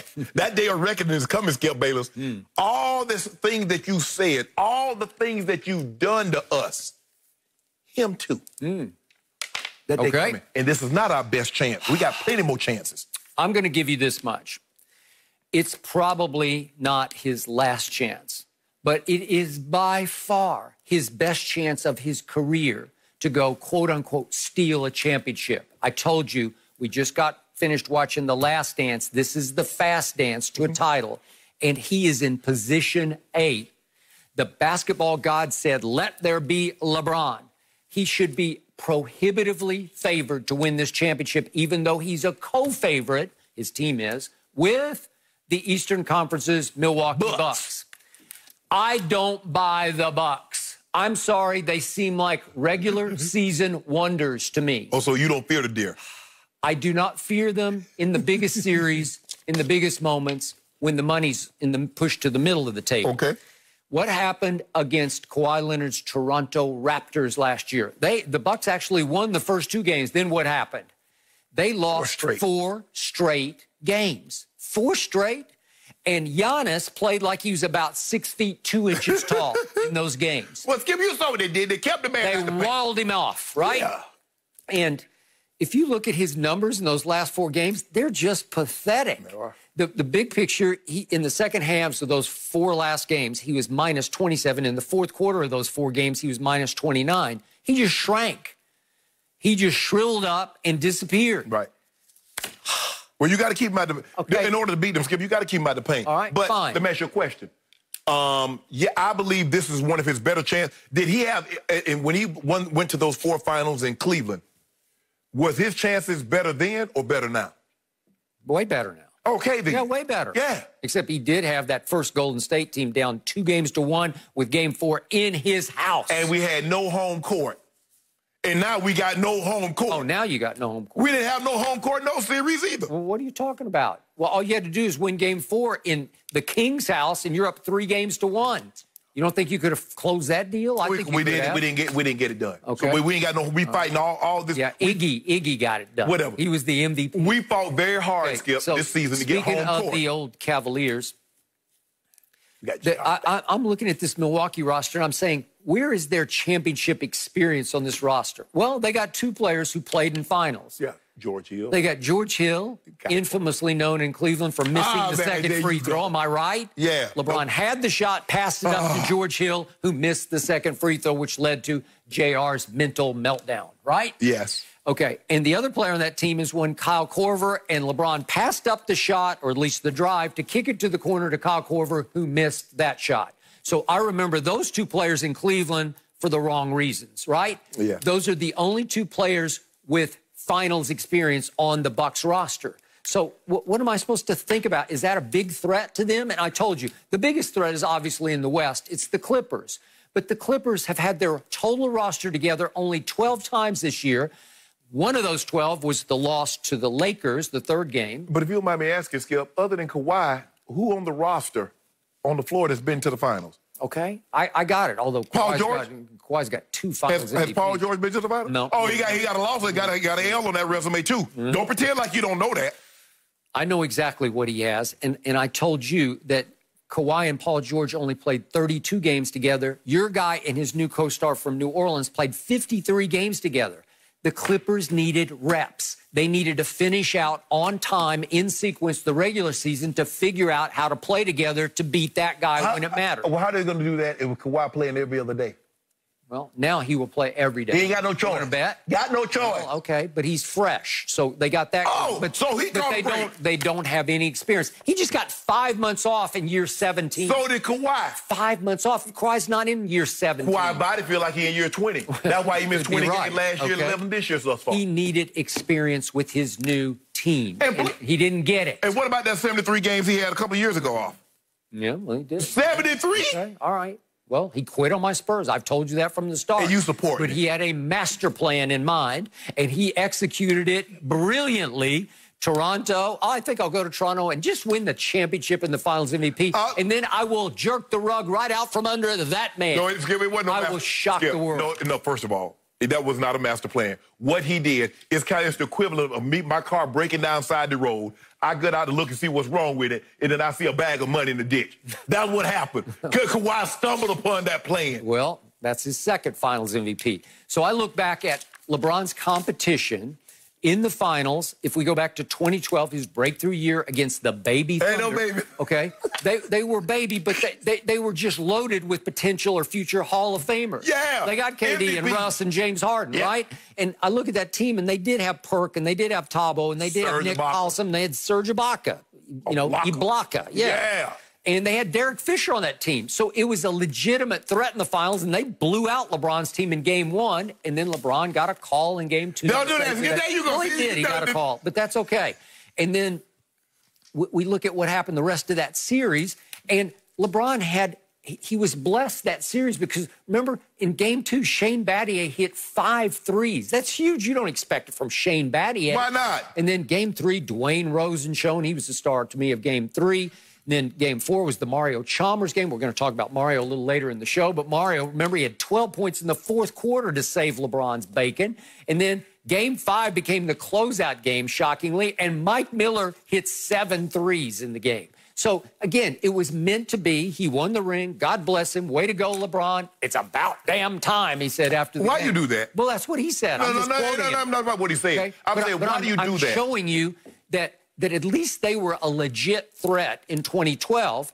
All of a sudden, I'm not sure who the legit threat is to his dominance this year. He is prohibitively favored. No, I'm not gonna let you get away with This is the easiest path. This should be a cakewalk in Orlando. No, I'm not going to let you get away with this. LeBron James is the only t- guy that has teammates. When they do what they're supposed to do, when they mm-hmm. do what they're asked to do, they save LeBron's bacon. Everybody else has teammates that do it. That's the mark of a great team. Uh, yada, yada, yada. But you, every time LeBron teammates do with it, so he was supposed to go out there and score 150 points and win the game by himself? If Ray Allen lips out that shot Ah. from the corner, if he lips it out, LeBron is two and seven in the finals. Okay, what if Steve Kerr missed that three? What if Paxson missed that three? They weren't do or die. Uh, why would it? Well, all would have happened. Jordan would have just figured it out and finished it off. No, no, no, no, Yeah, he'd say, okay, I'll never- just do it myself. All I know is that LeBron, Ray Allen did hit a shot. Mm. Kudos. But who took the uh, overtime over? My team was shot in the Man, heart. they don't shot in the heart. Wow. Shot in the heart. Lying dead on the floor. But- they couldn't even pick themselves but- up psychologically. But what about game one? You talk about LeBron James when he sat in the stands, he wouldn't even sit with his teammates. Game one at Oakland. Yeah. Yeah. Well, he sat about four feet away. He said, "Don't don't associate me with that bunch over there." Coronavirus, social distance. Oh, was he? he? He saw it coming. He saw it coming years ago, right? Yep. He's so ahead of the curve. I'm staying away. Okay. No mercy. Eagles wide receiver DeSean Jackson is facing criticism after sharing an anti Semitic quote that was attributed to Adolf Hitler. Jackson also shared admiration for Nation of Islam leader Louis Farrakhan. Jackson has since said people took his post the wrong way, and he has no hatred in his heart towards anyone. The Eagles released a statement that, in part, said the posts were, quote, offensive, harmful, and absolutely appalling. So, Shannon, should he be punished? Skip they're on a slippery slope because precedent has already been set. As you mentioned it earlier, the Riley Cooper incident happened in Philadelphia It in did. 2013. And this is what they said. This is what the Eagles wrote when they their statement. In a meeting with Riley yesterday, we decided together that the next step will to be will to seek outside assistance to help him fully understand and impact the words of his act or and actions. Mm-hmm. Skip, where was the appalling statement? Skip, uh, where's the offensive statement? Mm-hmm. That's a good point. Thank you. Wait a minute. Mm-hmm. Skip, this is what we're fighting for. You see? You see the difference in, in how offensive and outraged they were when DeSean Jackson tweeted what he tweeted and when Riley Cooper said what he said. Precedent has been established. Mm-hmm. Now, maybe another organization could have said, you know what, DeSean, we're going to suspend you and we're going to uh, find you. But it's going to be hard for Eagles the E- Eagle organization to to they did find Riley Cooper, mm-hmm. but it's going to be hard for them to suspend DeSean. Now they can do what they want to do; it's their organization, but it's going to look highly hypocritical, Skip, because an incident happened similar under your watch, and you sent the guy home and you gave him an extension. So the president, the groundwork has been laid. How you view this subject now? People view things differently. Now I understand the council, uh, the council, council culture now, Skip. They're not giving a whole lot of second chances, especially in 2020. One slip up, Skip, we see people saying things with the, with the movement and protesters, and hey, internet's doing their investigation, find out where that person works, send that information to his employer. Employer said, "Nah, there's too much heat, bro. I, I, I, it's too hot out here for me. You, you got to go." So, but the president for the Eagles and how they handled the situation prior has been set. It's going to be interesting to see mm-hmm. how they deal with this, but the president is there, Skip. Mm. Okay. You started this show by saying that you reached out to DeSean I did. and he reached back and you had a good conversation. I did. And I trust your radar. I, I trust your, if, if I might, your BS detector. Mm-hmm. And I think you bought his apology as incredibly sincere, Yeah. like convincingly Yes. sincere, right? Yes. From what you heard Yes. over your phone. I did. Not eye to eye, but just over the On phone. the phone. I've been around DeSean, had him on shows before, and I've had a couple of off camera conversations with him. And I want to like him. I want to believe in him and his apology. And I hate that he is going through this. But I do believe, and I'll, I'll get to the why of this in a moment. I do believe he needs to be suspended just in the vacuum of what just happened. Mm-hmm. He needs to be suspended one game just to send a message. And this is more of a league issue than a Philly issue. Mm-hmm. That the message needs to be sent. You just can't do that. You can't go there on any form of social media, mm-hmm. as, as you said earlier. Once you invoke that Hitler word, that, that Hitler name, it's over. Yeah. You you were talking about the most infamous anti-Semite who ever walked this earth, the devil incarnate. Mm-hmm. And once you go there, no matter what you're trying to do with the rest of your post, it's disqualified. It's moot. Yes. Okay. So back to the Riley Cooper incident. Mm-hmm. You can look up the clips. I was outraged the next day on the old show I did on the other network. And I called for that man's job. You have to cut him today. Mm-hmm. There's no way the black players, the black leaders on that football team can reside with him in the mm-hmm. locker room the rest of this year. It's over. Right. Once that word, the most evil word in the English language, tumbles out of your mouth, even though you are intoxicated, as you always say, that is the truth serum, right? Yeah. Okay. What do you always say? It's Drunks, kids, and angry people. okay. And he was two of those three. Drunk and angry, huh? Yeah, and and maybe he's still a like big kid, but I don't know. But he's at a country western concert and he gets mad at some of the security people. And I'll fight all those ends. And we're talking about the N word that Right. ends in the hard ER. Correct.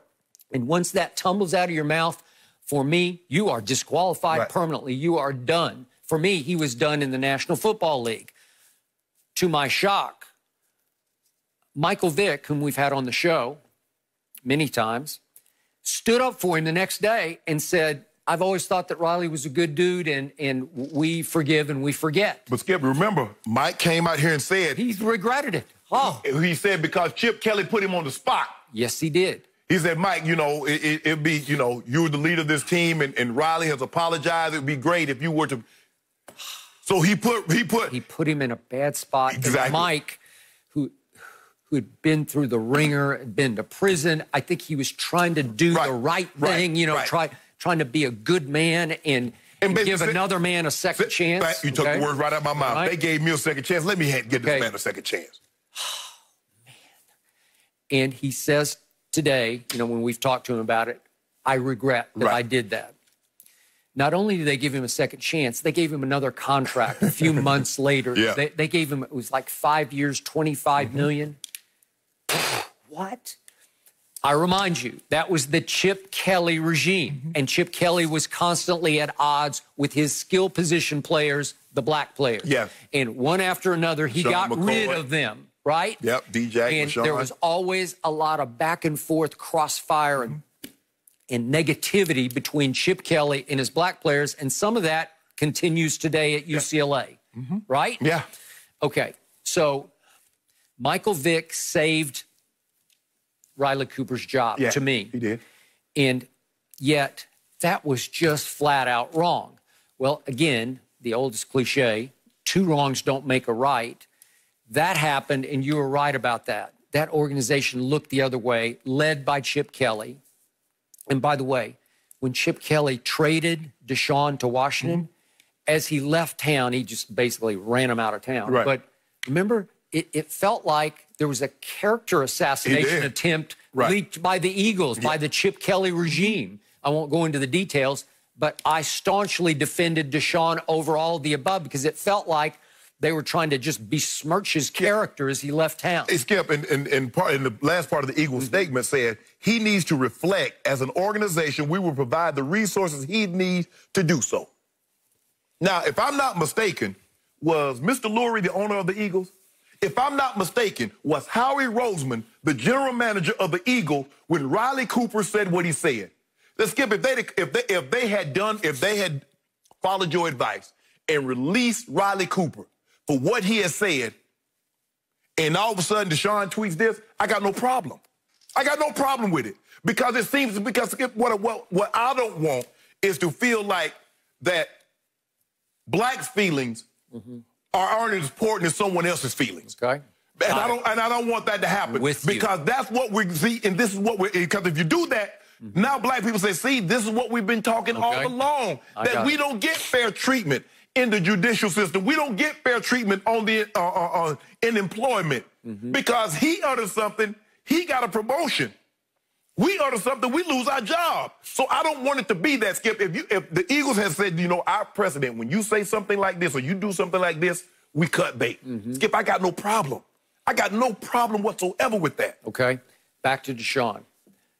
The times we've had him on this show or I've had him on other shows, the irony of this discussion we're having is he's always very careful and guarded on Yeah. the air to, to the point that I feel like I'm trying to pull teeth to Right. get him to say something. Right.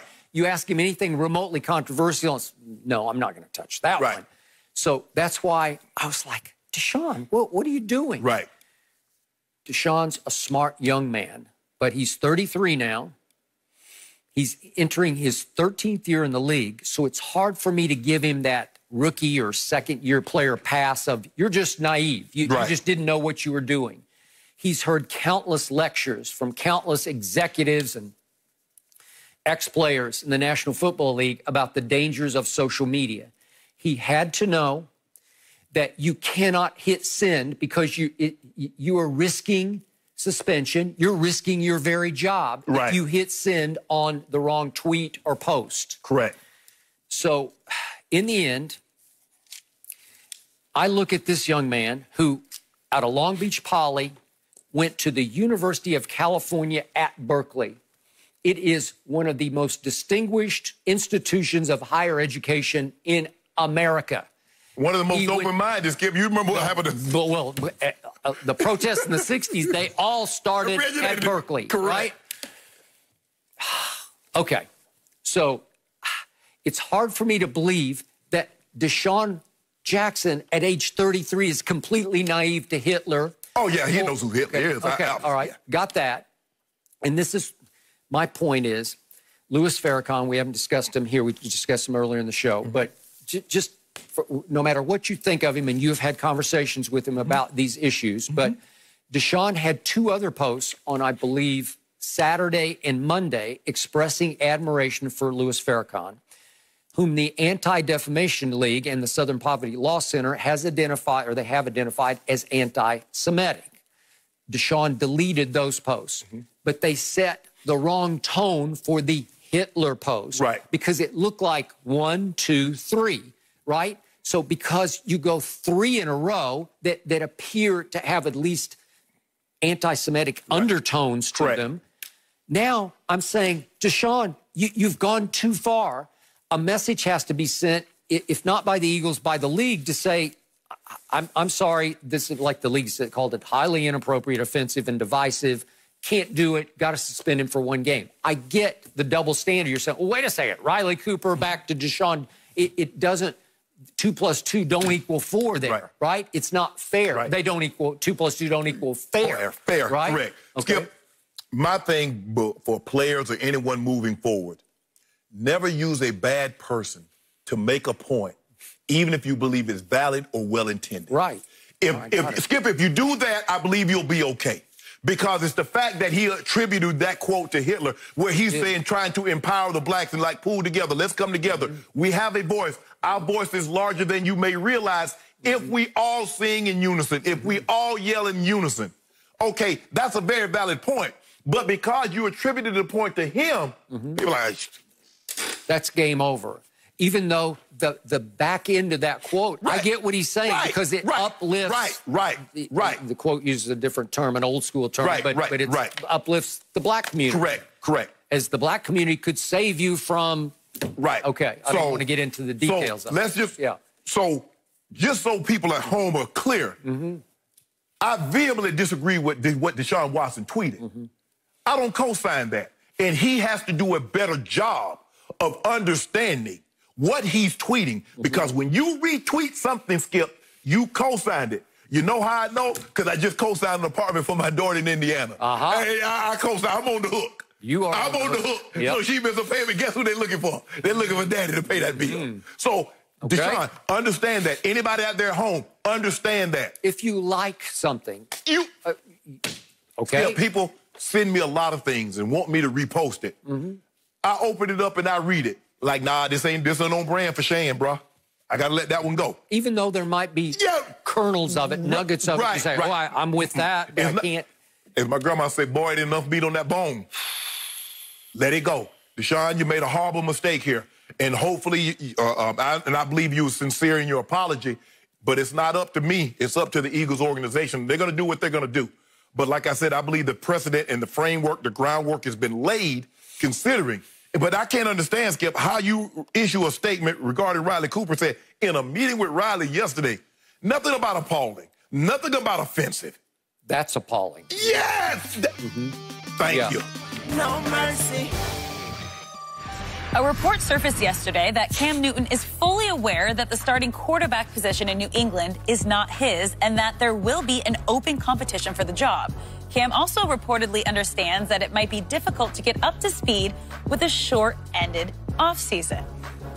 Now, Shannon, should Cam be upset and how should he feel about this open competition? If he knew what the deal was when he signed with the Patriots. Bill Belichick, nothing is promised with him. Mm. And the mere fact that he had a one-year deal told Cam that he was going to have to win this job. It wasn't going to be given to him. Teddy Bridgewater is the starter in Carolina. You know how we know, Skip? They gave him three years, $66 million. That's how you know you're the starter. Mm. Tom Brady's the starter in, in Tampa. Mm. You know how I know, Skip? They gave him two years, 50 million, fully guaranteed. Cam, Cam Newton got 1.75 with 550 guaranteed. So in other words, you're in a dogfight. You win the job, you start. If not, you hold the clipboard until deemed necessary. Mm. That's just the way it works in New England, Skip. You don't get promised. You don't get promised anything. He makes it a competition. He doesn't want you to rest on your laurels. Well, I got this thing made. You know, I can sit back and you know, fat cat now. You're not fat catting on Bill Belichick dime. He will get you up out of there. And he paid you like a dime. Yeah, exactly. So he he won't even let you the fat cat skip, but he paid, he gave you chicken feet. He did. so that's just the way it is. I think Cam understands that. Cam Cam understands he's going to have to go in there. He's going to have to work his tail off, and he's going to have to earn this job, which I believe Cam Newton will. But I don't think Cam is surprised by anything that's going on uh, um, in New England. I'm sure Coach Belichick conveyed that to him when they had conversations that You win the job, you start. If not, Okay.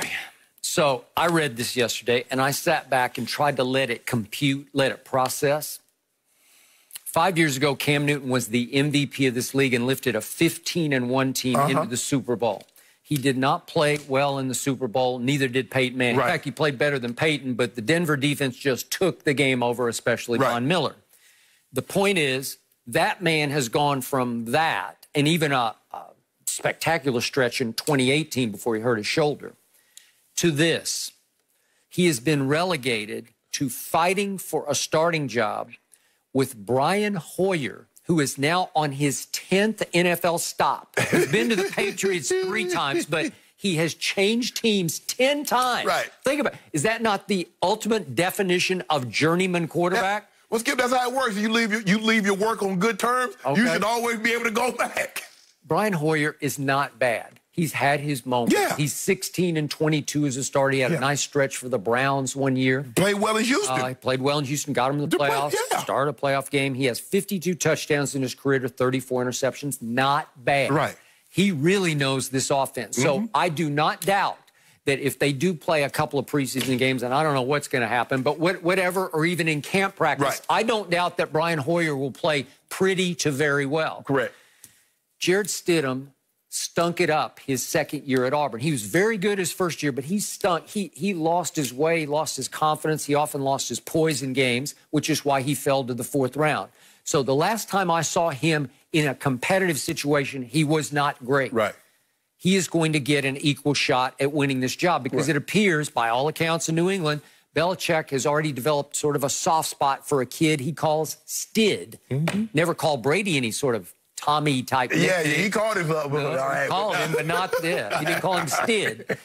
Okay, so now Cam Newton. What, what did I say repeatedly about Cam when he sat and sat on the open market? He was born to be a starter and a star. Right. You can't have Cam holding a clipboard. He his personality's too big. He has too much pride. Don't don't do that to him. It's all or nothing with him, and it should have been all in with, with the Chargers out here in Los Angeles. It's like, how can you not take Cam Newton? He, he's better than Tyrod. He he. I think he's better than that kid out of Oregon they drafted, Justin Herbert. Skip, if I'm working and all of a sudden I lose my job Mm-hmm. and nobody's calling, I send out my resume and nobody calling, and nobody calls, and all of a sudden after three, four months, a job opportunity comes up, Mm-hmm. but it's not even a tenth or one fifteenth of the pay that I'm normally making.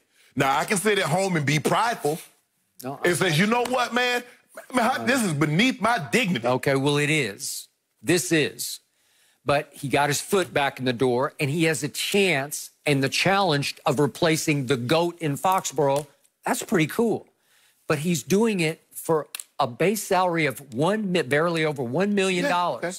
Patrick Mahomes just got a signing bonus of $63.7 50 million. mil this year. Okay? Patrick Mahomes could make 500 million over the next 12 years. And Cam is making 1 million and he's a former MVP.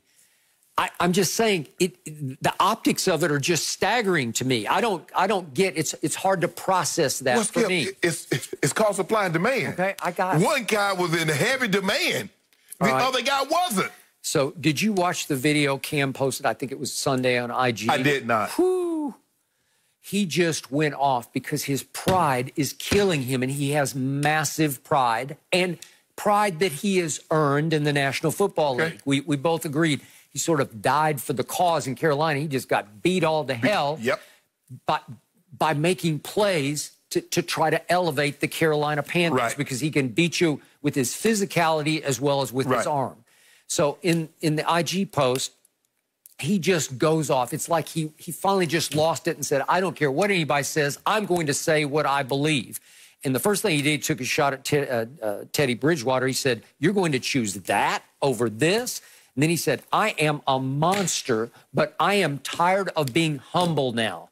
And he went on to say, "I'm tired of all this humble sh because when you humble, they start taking advantage of you."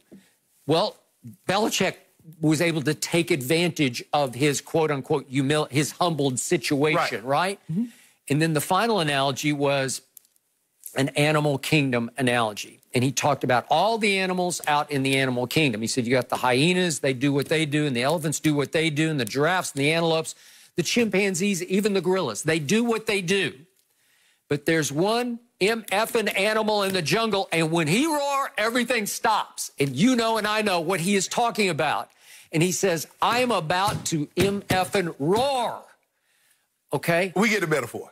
Huh? We get the metaphor, but theoretically, lions are not in the jungles. That's tigers. But we get the point Okay. what he's well, making. Well, that's that's what he's saying. Okay, I, I got you. They're out on the Serengeti, Yeah. Yes. out in the plains. But Yeah. but the point is, Yeah. when they roar for ten miles, other animals are like, you know it.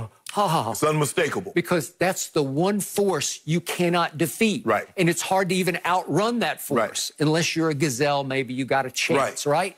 So the point is, he, he, he is flexing all of his considerable muscles because his pride has been battered Right. here, right? Right. And he's saying, okay, I'm relegated. I got to go up there. I got to compete with Brian Hoyer Right. and Jarrett Stidham. It's a three way battle. Right. An equal battle. We all get our Right. chances. The, are the reps going to be a third, a third, and a third? And Yeah. Uh, probably, I guess so, Yeah. right? Yeah. Whew. So it's come to this for Cam Newton? Yeah, Skip, I get what Cam's saying, but Cam has to understand. Cam, your stock wasn't that high. You got to rebuild it. Skip, you remember when you when you, you rented a car, you basically had, you know, you had Hertz, you had Avis, you had Dollar. Okay, Hertz went bankrupt. They selling for, you know, 10, 90 cents. Google and Apple selling for three, four, five hundred dollars. No, I got it. Okay, they're valuable. Cam, there are other teams didn't see the value in you. You have to restore that. You can't get mad at us. Stop. And plus, another thing, get off social media Yeah, I agree. because I- I- I because you're reading that. Oh, Cam's been humble. You're reading that. Yep. Cam, it ain't what they say. It's Mm. what you do. Yep. They can call, they can say whatever. They- I have to tell you, Skip, my grandmother used to tell me all the time. My brother would call me name. I said, Granny, he called me a name. She said, boy, it ain't what he called you. What you answer to? I know. All that other That is stuff, Cam, is unimportant. Yep.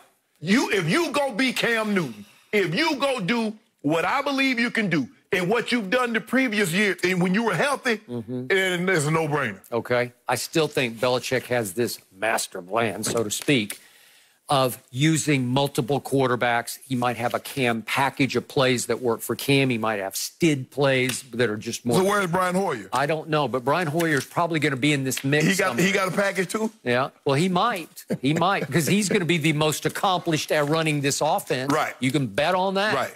But my point is, if Cam Newton does not win any part of this job, if he is just simply the backup quarterback, Yeah, that's- I, I don't love this, man. I don't, I don't either. I don't either. But I ain't even worried about it. I, I don't even think like that. Cam got this one. I ain't even worried about it. Cam. I mean, look, Secretariat with, with, with Big Red, that chestnut bay cook, uh, uh, coat, it do what it do. He was the best in the field. Roy wasn't. People like making it seem like it was Ron Turcotte. It wasn't. no. It wasn't. No, Lord, no. I mean, I've never seen anything like that. no, nobody's ever seen Yeah, anything like it. You remember Belmont. Yes. 31 and a half length. Okay. Now, a little competition is good. I feel like it, it lights a fire, and we've got some more competition for you. Uh-uh. Randy Moss racked up 23 receiving touchdowns from Tom Brady in 2007, but that didn't stop the Hall of Famer from singing the praise of Patrick Mahomes. Moss said in his prime he would have had 30 touchdowns if he played with Patrick Mahomes. So, Shannon, was this disrespectful to Brady? Absolutely not. Because Mahomes had that kind of arm. He got that arm that can get him the ball 60, 70 yards down the field, throw it up and jump. Skip Bayless. I mean, what is it disrespectful? No, it's realistic. Mm. He said, if I'd have had a quarterback that can launch that ball like Mahomes and believe in me and say, you know, when I say put it up down the field, mm. gonna give me that opportunity, mm. because he gonna throw caution to the wind. Absolutely. Stop it. Ain't, no, ain't even a question. Do you believe Tom Brady is more arm talented than Patrick Mahomes at any point in his 20-year career? A simple yes or a simple no will suffice. Well, I, arm talent. Where, did that get Jeff George? Whoa, whoa, whoa, Seriously. whoa, whoa, whoa. We Well, where did it get it? This ain't no Jeff George here. Mm. This here boy like this. He got arm talent like number mm, seven. I saw some Jeff George throws in the No, you Super. Bowl No, you didn't. late third quarter, early fourth. You be hating. You be hating. Mm, Skip, I mean, just imagine uh, uh, Mahomes throwing the ball up to Randy down the field. He's putting the ball up to uh, uh, Tyreek. Tyreek's what, 5'8", 5'9"? So imagine six, four and a half, and you're putting the ball up down the field. Yep. At, th- at 30, Randy hit nail on the head. I was gonna say like 28, but I trust Randy. 30. Tubbs. You upset. Look, I, I keep asking myself, what just happened to Randy Moss? What just happened between Randy Moss and Tom Brady? Did, did they have a falling out that I'm not aware of? I don't know because every time Randy lately has talked about Tom Brady, it comes across as negativity to me. How? Brady. Well, you know, last week it was about More with Cam. Newton, the, the offense is going to be a lot more fun to watch. Really? Okay, just for the record again, Randy Moss isn't just good on TV, he is great Yeah. on TV. And I love it that he has opinions. I don't love this opinion because it hurts me to my, my core, to my true. soul. Those two guys in 2007, they made NFL history. That, that was a union made in Pro Football Yeah. Hall of Fame heaven. Mm-hmm. It was, and again, I'm the biggest Randy Moss fan in that he was the greatest, most electrifying deep threat this league has ever seen. As you point out, six, four and a half, four, 240 with not good hands, just great hands. Yep. Like they were so great that everything was e- effort. There was never a catch where I said, "Oh, that was a great catch," because he just sort of Right. effortlessly just snagged it, mm-hmm. right? So when you put that with the GOAT Tom Brady t- 2007, every record fell. I know Peyton broke a number of the records, mm-hmm. but one record has stood, and that's 23 Right. touchdown mm-hmm. catches by Randy Randy. Moss in mm-hmm. 2007. So I'm thinking, don't you don't you cherish those moments? Don't, don't you honor those moments? Don't, don't you regard them with such sort of historical perspective? Like that was very special that we got to do that together. Yeah. That you would honor Tom a little bit by saying, "Well, I don't know. You know, maybe maybe they throw more in Kansas City. Maybe I would have more of a chance." Yeah. You could put it in a different perspective. Oh yeah, I catch 30. 30. You know, like it would be easy 30. And it, it, it comes across as as disrespectful to Tom. It comes across as, oh, well, come on. Obviously, Mahomes is a lot better than Tom Brady. No, he's not. And I don't believe Tom that, that Randy Moss believes that Mahomes is that much better. Did he get caught up in the moment on TV? I don't know, maybe, but in the end, 2007 was so special to Brady that we talked about this last week.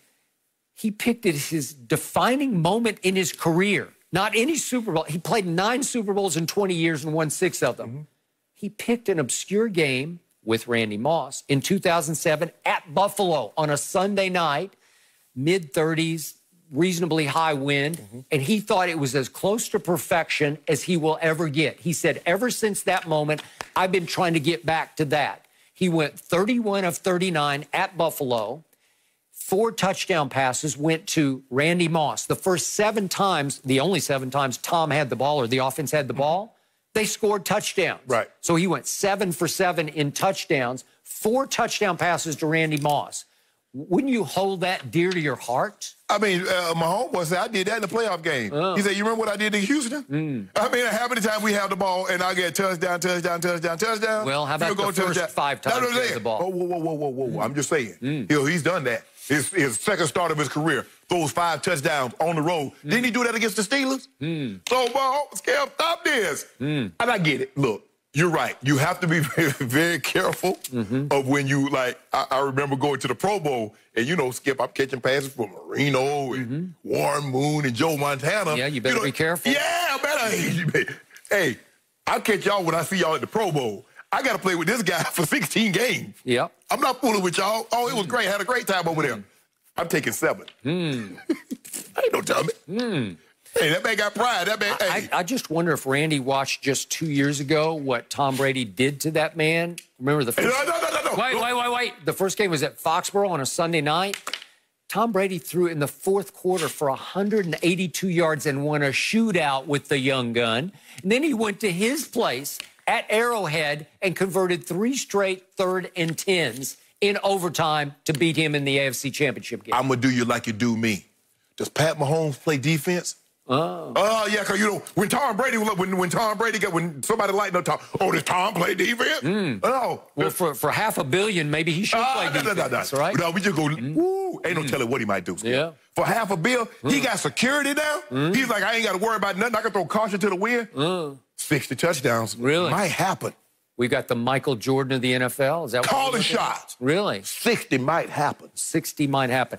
I'll bet you uh, 10 cases of Diet Dew he doesn't throw 60 touchdown passes this year. You know what happens, Skip? Mm. They get the big lead, they come out. Uh, kind of like us in 98. Ain't no uh, telling how many touchdowns I could have had okay. if Mike hadn't take, taken me out, I'll, beating the Cowboys. I'll bet you 100 cases of Diet Dew they don't go 16 and 0 this year. No, no, no, no, no. Okay. Thank Skip, you. at the end of they're going to be in Tampa. Mm. They're going to probably be in Tampa. Your team won't. Oh, well, you wait. My team lives in Tampa. You think Brady? My team's going to be the first Super Bowl team to play a home Super Bowl. You think Brady might be willing to sublease Jeter's house to my homeboy? Cause we gonna need it. Really?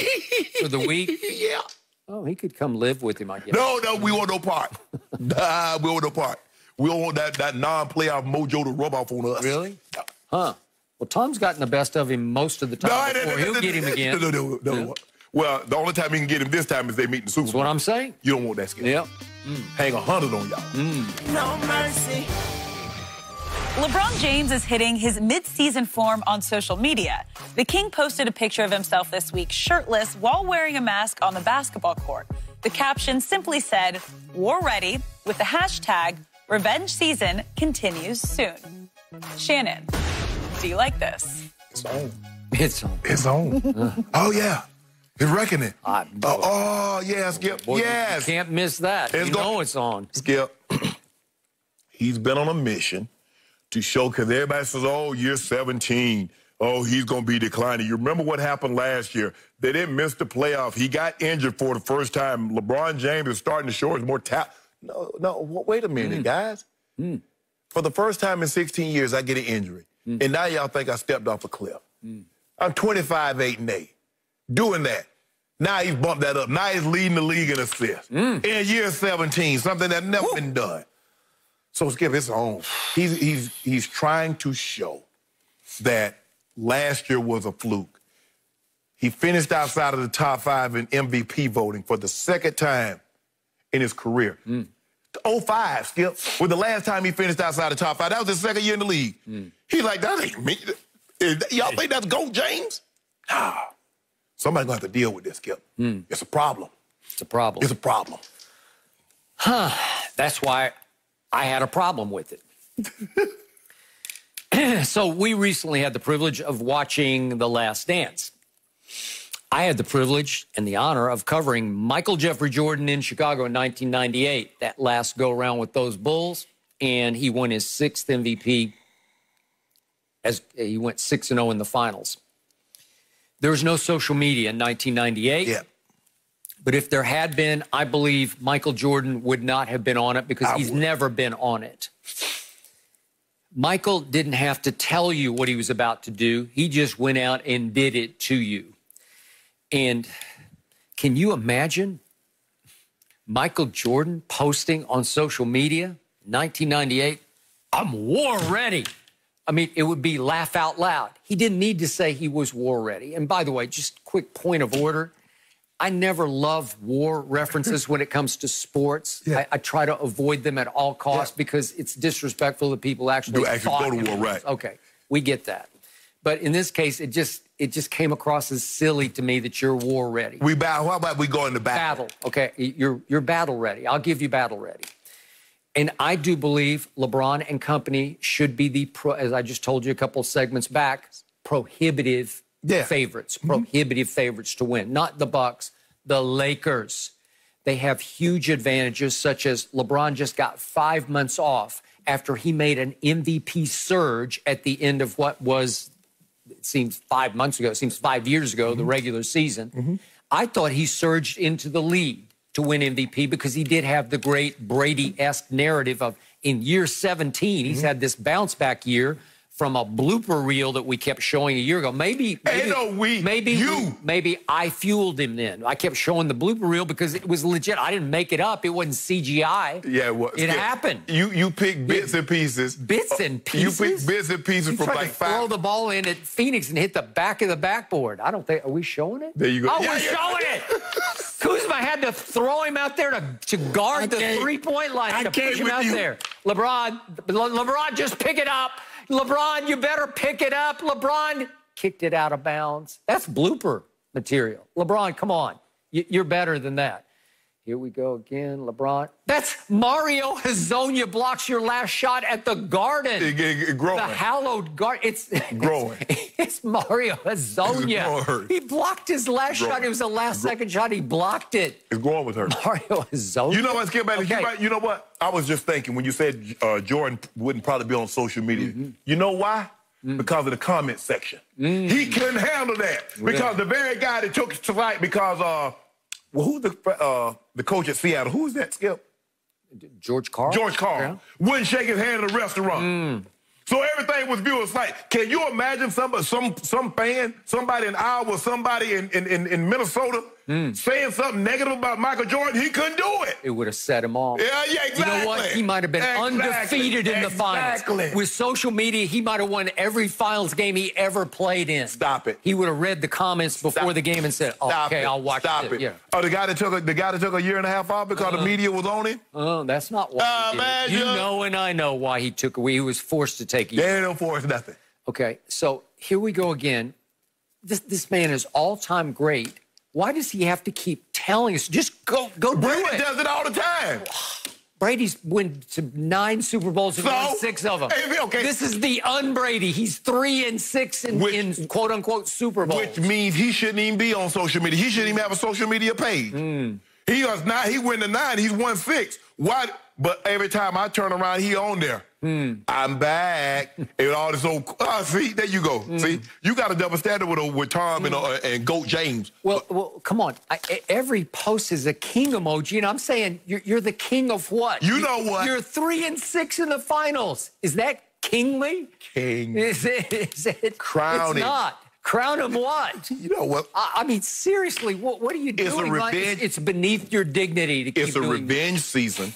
You, along with many others, wrote him off. Mm-hmm. Y'all still black doing blasphemous things to this man's name. Mm. I ain't gonna talk about it. Kenny Smith, you talk about LeBron James. They do top ten, or you barely He was ten. unathletic. He, he was Yeah. unathletic. And like how that look? Leonard. And how it look now? How you like me now? You know, Cool, Mo th- this all it, it has this faint odor of insecurity. Ah, I'm not there sure.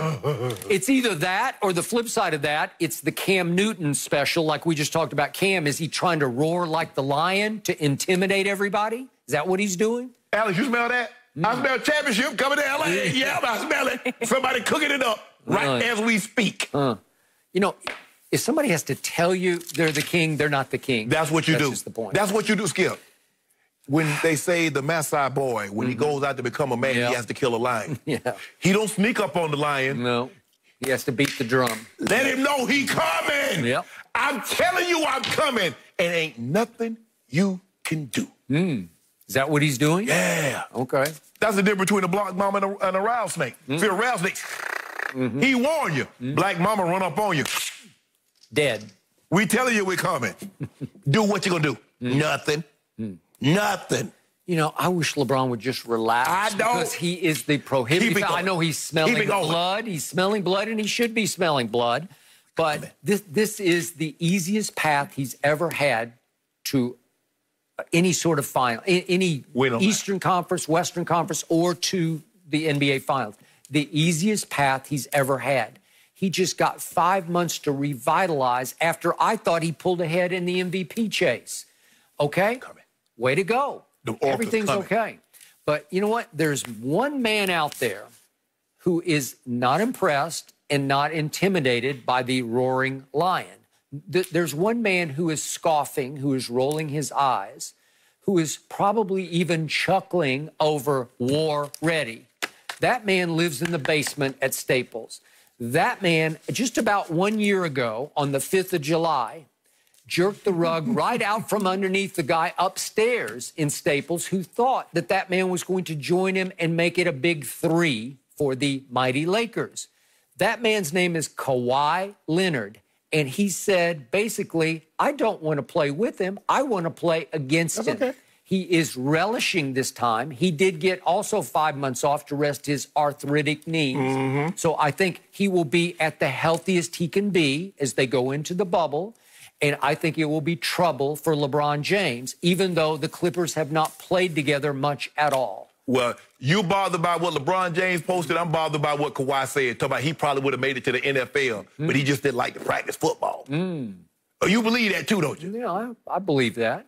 And the, the all-time boss move happened on opening night of what was this regular season. Kawhi Leonard dropped a New Balance commercial in the middle of a national TV broadcast, Lakers versus Clippers. You know and what, in it, he's exiting in his classic car. And it no says, classic car. Is, is saying Kawhi Town. And swinging on his little keychain is a crown. He's saying, no, time out. I'm the king of LA, or at least I'm the new king of LA. Actually, not. Because Right? you see, LeBron just got a $40 million place in Beverly Hills. Hmm. I told you Did we're coming closer. Yeah. I did not see I know that. you didn't. See, I know you look didn't. At that. Don't worry about look it. at that swinging keychain. That ain't nothing. Huh? Crown. He got a crown. Is that not a shot? Is that not a throwdown challenge of I am here? Stop playing that, Azzy. You I think love you slay? that. I love that. Can we see that again? No, I don't need to see it no more. That's But what's okay. about to happen in Orlando.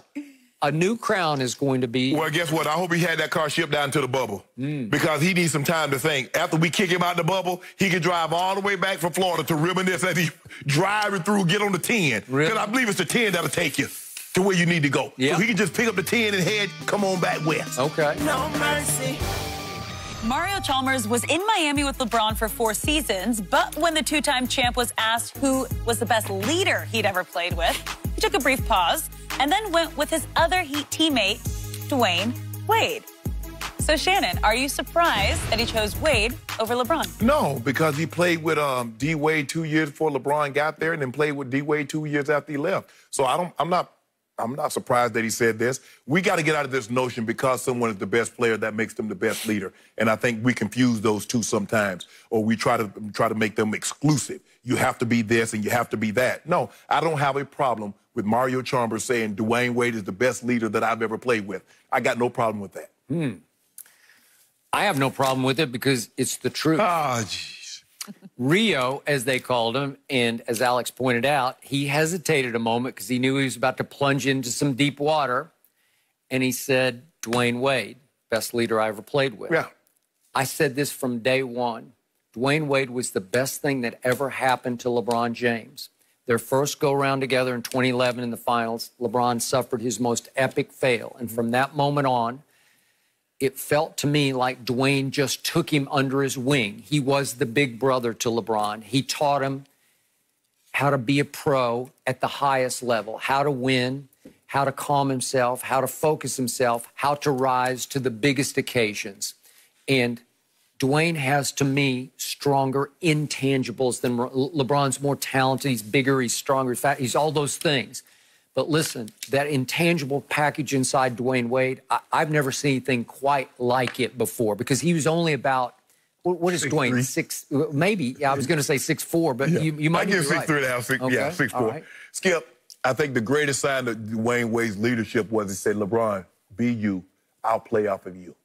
He conceded. No, he he took the Robin role right out off the bat. He You know, gave I- up. I- he gave up Wade County Yeah. temporarily, Mm-hmm. so LeBron James can flourish. That is a sign of leadership. Very few people will be at the top and relinquish that voluntarily. Mm-hmm. That's what he did. Give him credit for that. no, I- Power concedes nothing without demand. Mm-hmm. Well, Dwyane Wade was the power figure there. He was there. He had won a championship, had a historic playoff uh, finals run, Skip, one of the great finals in NBA history. he shot a lot of free throws. And he said, you know what, LeBron, in order for us to be what we think we can be, Mm-hmm. you need to be top dog. And I'm going to step back. I'll be Robin. Go be Batman. Mm-hmm. So that's great leadership. but I still say he was Batman in the locker room off the floor. Yeah. He was the Batman in, in leadership. We're not gonna let you try to bring a drive a wedge between me, D Wade, and LeBron. Well, that ain't gonna happen. doing that. Yeah, you try to. Oh, D Wade is the leader. We're talking about ancient history No, here. we still got history. We still fam. we fam. Well, that's all we have for you guys today. Thank you so much for hanging out. We'll be back tomorrow morning at 9:30 Eastern. But stick around because the herd is coming up next.